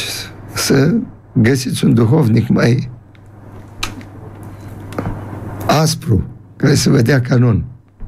Sau mai milostiv, care să vă dea ce doriți. Da. Uh, Dacă persoana care nu vrea să știe de Hristos, biserică sau de preoți este prieten foarte apropiat și e grav bolnav, ce să-i fac? ce de făcut? Să-L prezentați pe Hristos. Dacă nu vrea să știe de Hristos, cum vă e prieten? Probabil îl întreabă și dacă poate să-l pomenească undeva, la Mazlu, la... Dar cu voia lui. Dacă, Aia e, că nu prea vrea. El e dacă cam nu are nicio antibisericist, credință, da. e bolnav, în primul rând, de necredință și apoi de celelalte boli. Bolnavul de necredință e de plâns, că nu are leac nici în veacul de acum, nici în cel viitor. bolnavul cu credință, dacă nu are leac în veacul de acum, poate avea leac în veacul viitor. Aprofundăm întrebarea cu soții, ne rugăm împreună eu și soțul meu, dar cum este mai bine, cu glas tare sau fiecare în gândul lui? Se poate ruga și cu glas tare dacă îți doi. Da. Sau în șoaptă, sau cum vor ei, e foarte bine să vă rugați împreună. Vă întăriți comuniunea și dragoste. În ziua în care m-am împărtășit, am vomitat. Ce fac în acest caz? E destul de dureros. Totdeauna când îți vine rău, să ai o pungă la tine, să te păzești, mai bine nu te împărtășești dacă știi că ți-e rău, amâni. Și este un canon greu, că l-ați aruncat pe Hristos. Duhovnicul să vă dea un canon. Și canonul de pocăință trebuie să-l faceți mereu. Um, am botezat un copil împreună cu fiul meu. Este în neregulă? Nu, este în regulă. Cine sunt Sfinții Părinți? Ce este Sfântul Duh pe înțelesul nostru? Sfinții Părinți sunt acei trăitori care au păzit legea lui Dumnezeu, s-au rugat și am împropriat și au trăit în legea lui Dumnezeu. Sfântul Duh este o persoană a Sfintei Treimi, a treia persoană, care este egal cu Tatăl și cu Fiul și iată, prin Sfântul Duh, toate au început și toate s-au înnoit. Sfântul Duh, după ce Tatăl a zis prin Fiul, s-a făcut pământul, Duhul lui Dumnezeu era pe deasupra adâncului și iată, dacă Tatăl a început o lucrare și Fiul a săvârșitul, Duhul Sfânt a definitivat-o.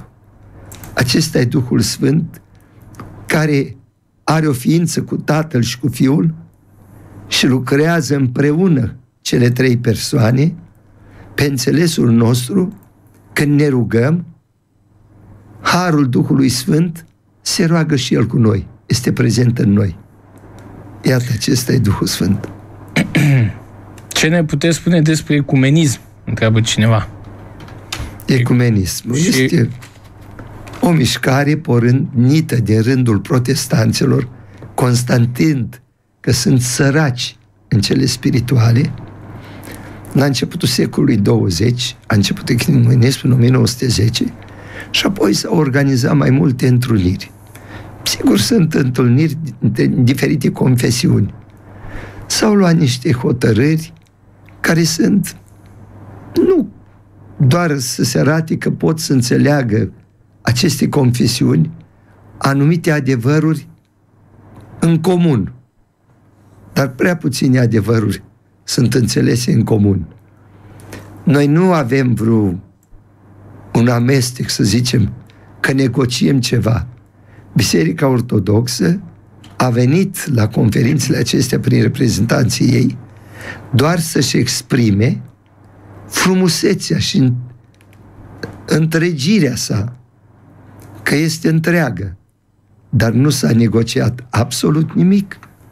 Deci, ecumenismul este o adunare, să zicem, de vorbiri și apoi de mese comune.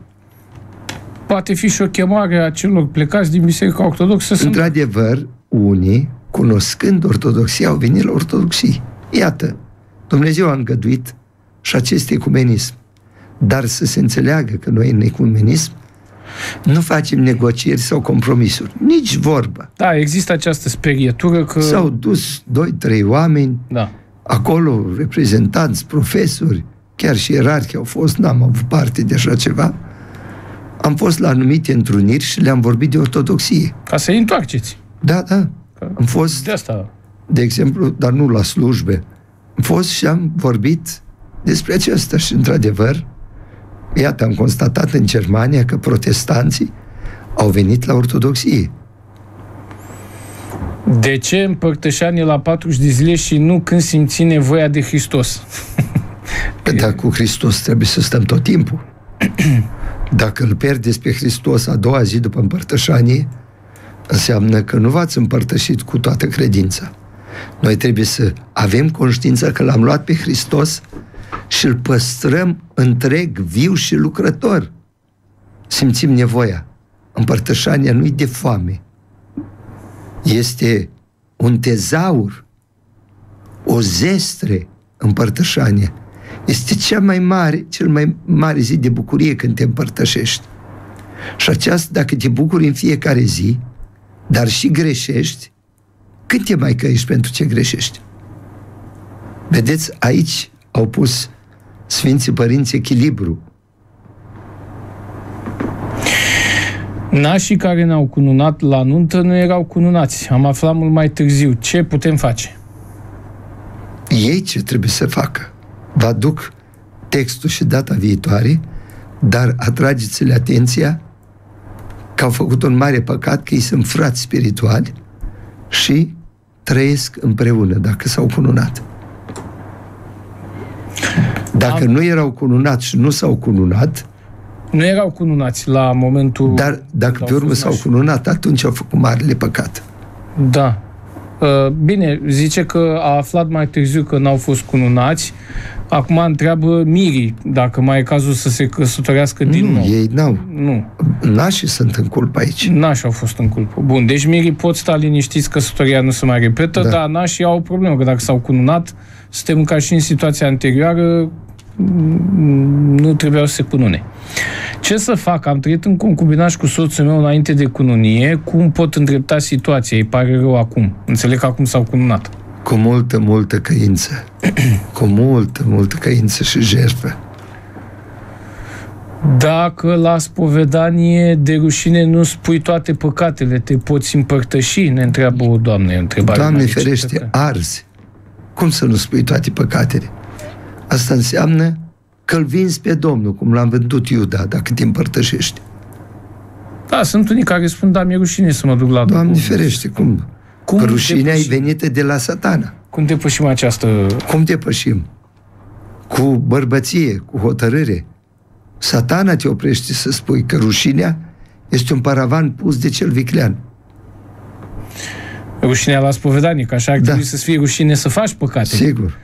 Uh, Pentru bunicii baptiști care au decedat, pot să aprind o lumânare? Da, o lumânare, da, dar pomenire nu. Uh, Cineva ne întreabă dacă steriletul e păcat. Da. Face parte din rândul uh, Sigur. mijloacelor... uh, Și citez ce spune părintele bisericesc, cine împiedică zămislirea se grăbește să ucidă.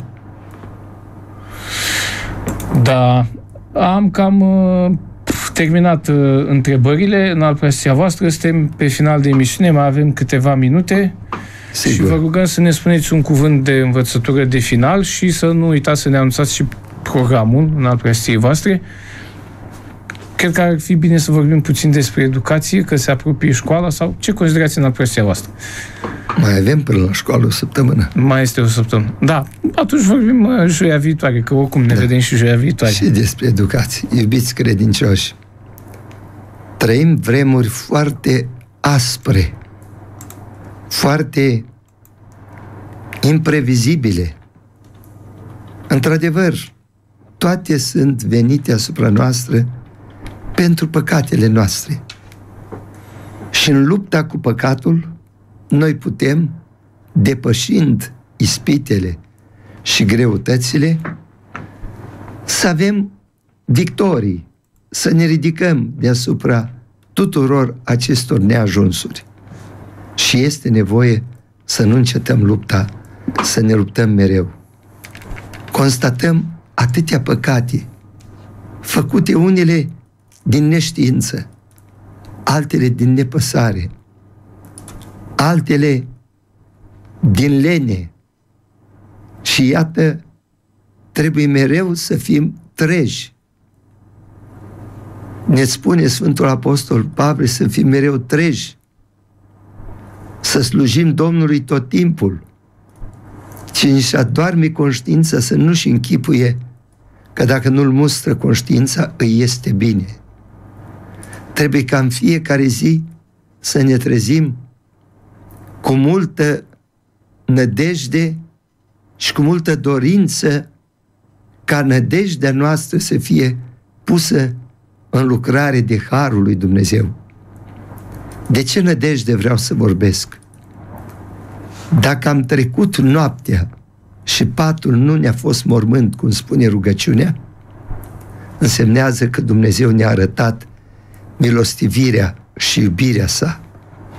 Când începem o nouă zi, să o începem cu semnul Sfintei Cruci și cu bucurie că am trecut în noaptea. Cu adevărat, orice zi este un nou popas de relația noastră cu Dumnezeu. Relația noastră cu Dumnezeu să nu se întrerupă niciodată.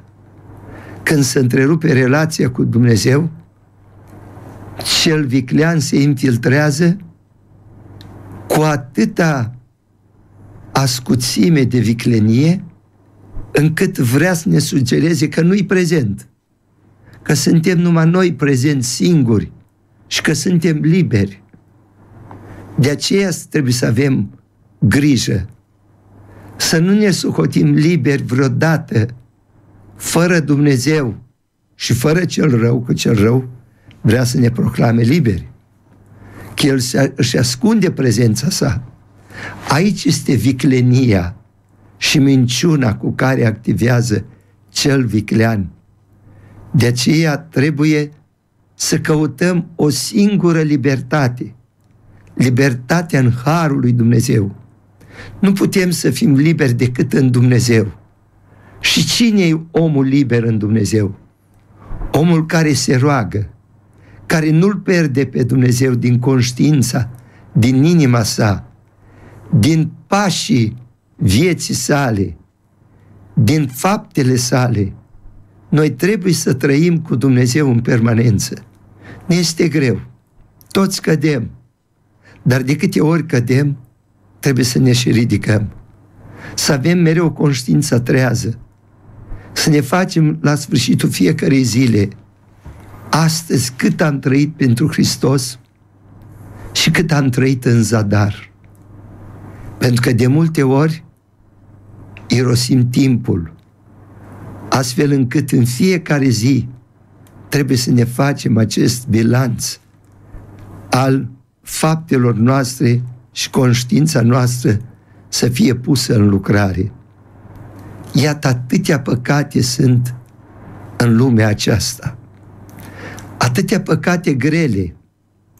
Incestul este atât de prezent prin cei care botează împreună, cu nună împreună și apoi se căsătoresc.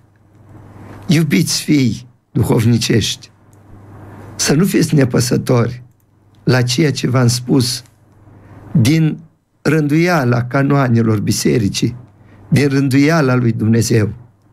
Luați aminte, soții, să nu vă înșelați, nu vă dați seama ce păcat faceți, întoarceți spatele lui Hristos și rupeți legătura între voi pe care a făcut-o Hristos.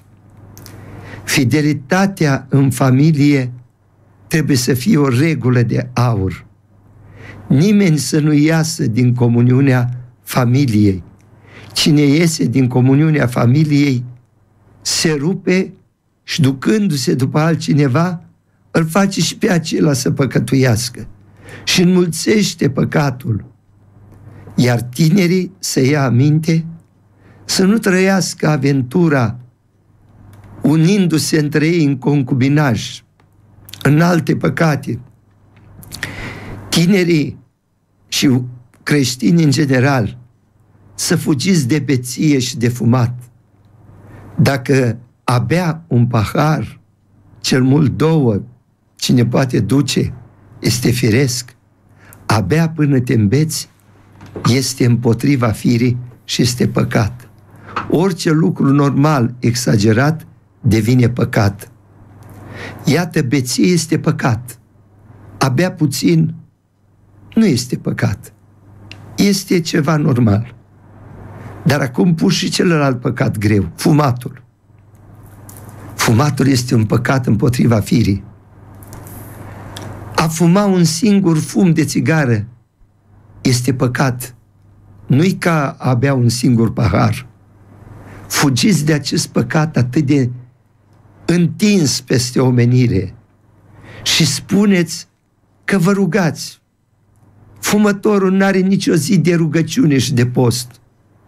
Cum să te rogi când aduci în sufletul tău, în inima ta, în trupul tău, care este templul Duhului Sfânt, când aduci o travă împotriva firii, când lucrezi împotriva lui Dumnezeu, este atât de mare păcat. Îi îndemn pe fumători să se lase, să se lase dintr-o dată, să nu mai aștepte. Sigur, pot să și rășească. Unii s-au lăsat așa. Fumau 40 de zi, țigări pe zi, fumau în fiecare zi 40 de zile până ajungeau mai puțin cu una până ajungeau la zero. Și dacă ajungeau la zero, se lăsau. Au fost care s-au lăsat. Alții s-au lăsat dintr-o dată. Cel mai sigur este să te lași dintr-o dată. Ai tot felul de gânduri. Dar dacă ai hotărât, poți să o faci. Aceasta e bărbăția. Și la bărbați și la femei. Să pui capăt răului. Mai sunt celelalte păcate. Bârfirea, gâlceava, invidia, răutatea, ura, pisma. Lepădați-vă de toate acestea. Acestea vă decad din calitatea de creștini, urmași ai lui Hristos. Să luăm aminte, să facem ceea ce ne-a învățat Hristos și să luăm aminte la păstorii noștri care ne-au adus cuvântul adevărului. Vă îndemn pe toți să păstrați această rânduială de viață curată și sfântă, pe copii să creșteți în spiritul dragostei, ai păcii, în spiritul rugăciunii, al bunătății. Să ținem zilele de post și posturile și să avem cu adevărat rânduială în tot ceea ce facem. Vă doresc mult spor și ajutor de la Dumnezeu și acum să vă anunț și programul. În seara asta ne vedem la ora 23 la Acatist și iată vom face un Acatist al Maicii Domnului pentru că ne și apropiem de sărbătoarea Maicii Domnului și sigur, pentru că suntem aproape de Sfinții Joachim și Ana și pentru că ne apropiem de nașterea Maicii Domnului, vom face întâi acatistul Sfinților Joachim și Ana. Trebuie să legăm de Maica Domnului, că puteam să-l facem sâmbătă seara, dar trebuie să legăm pe Maica Domnului de părinții ei, Sfinții Joachim și Ana. Iată, mâine voi fi la Dornarin, la mănăstire, unde voi sluji Sfânta Liturghie, cu toate deslegării că așteaptă și acolo oameni și vin și din prejur. Sâmbătă dimineața voi fi la Mănăstirea Strunga, la Sfânta Liturghie, la ora 8, că după aceea este mormântarea unei măicuțe care s-a sfârșit la 80 de ani și cum spunea Maica stareță Filareta cu lacrimi și cu durere, a fost o măicuță tare bună și tare o regret și m-a chemat să-i alin durerea și să o conduc pe măicuța cea bună care s-a jertfit atât de mult pentru mănăstire. Sâmbătă seara, sigur, voi fi la Catist la ora 23. Duminică voi fi la Biserica Sfânta Maria de la Far. Și mai departe, iată, luni dimineața voi fi aici la slujbă, aș vrea să încep la șapte și jumătate, pentru că avem și examene. Iar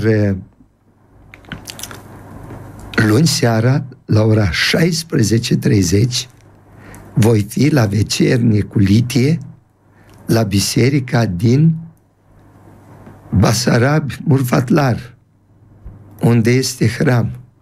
Și la ora 18.30 voi fi la mănăstirea de la Deleni, tot pentru hram, la slujba vecernii și a litiei.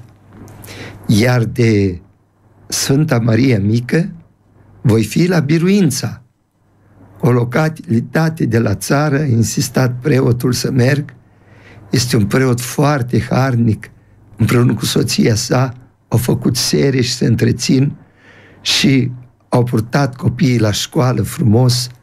Și pentru hărnicia lui, că a făcut danii și pe la mănăstiri din munca sa și la săraci din munca muncită din greu în acele sere.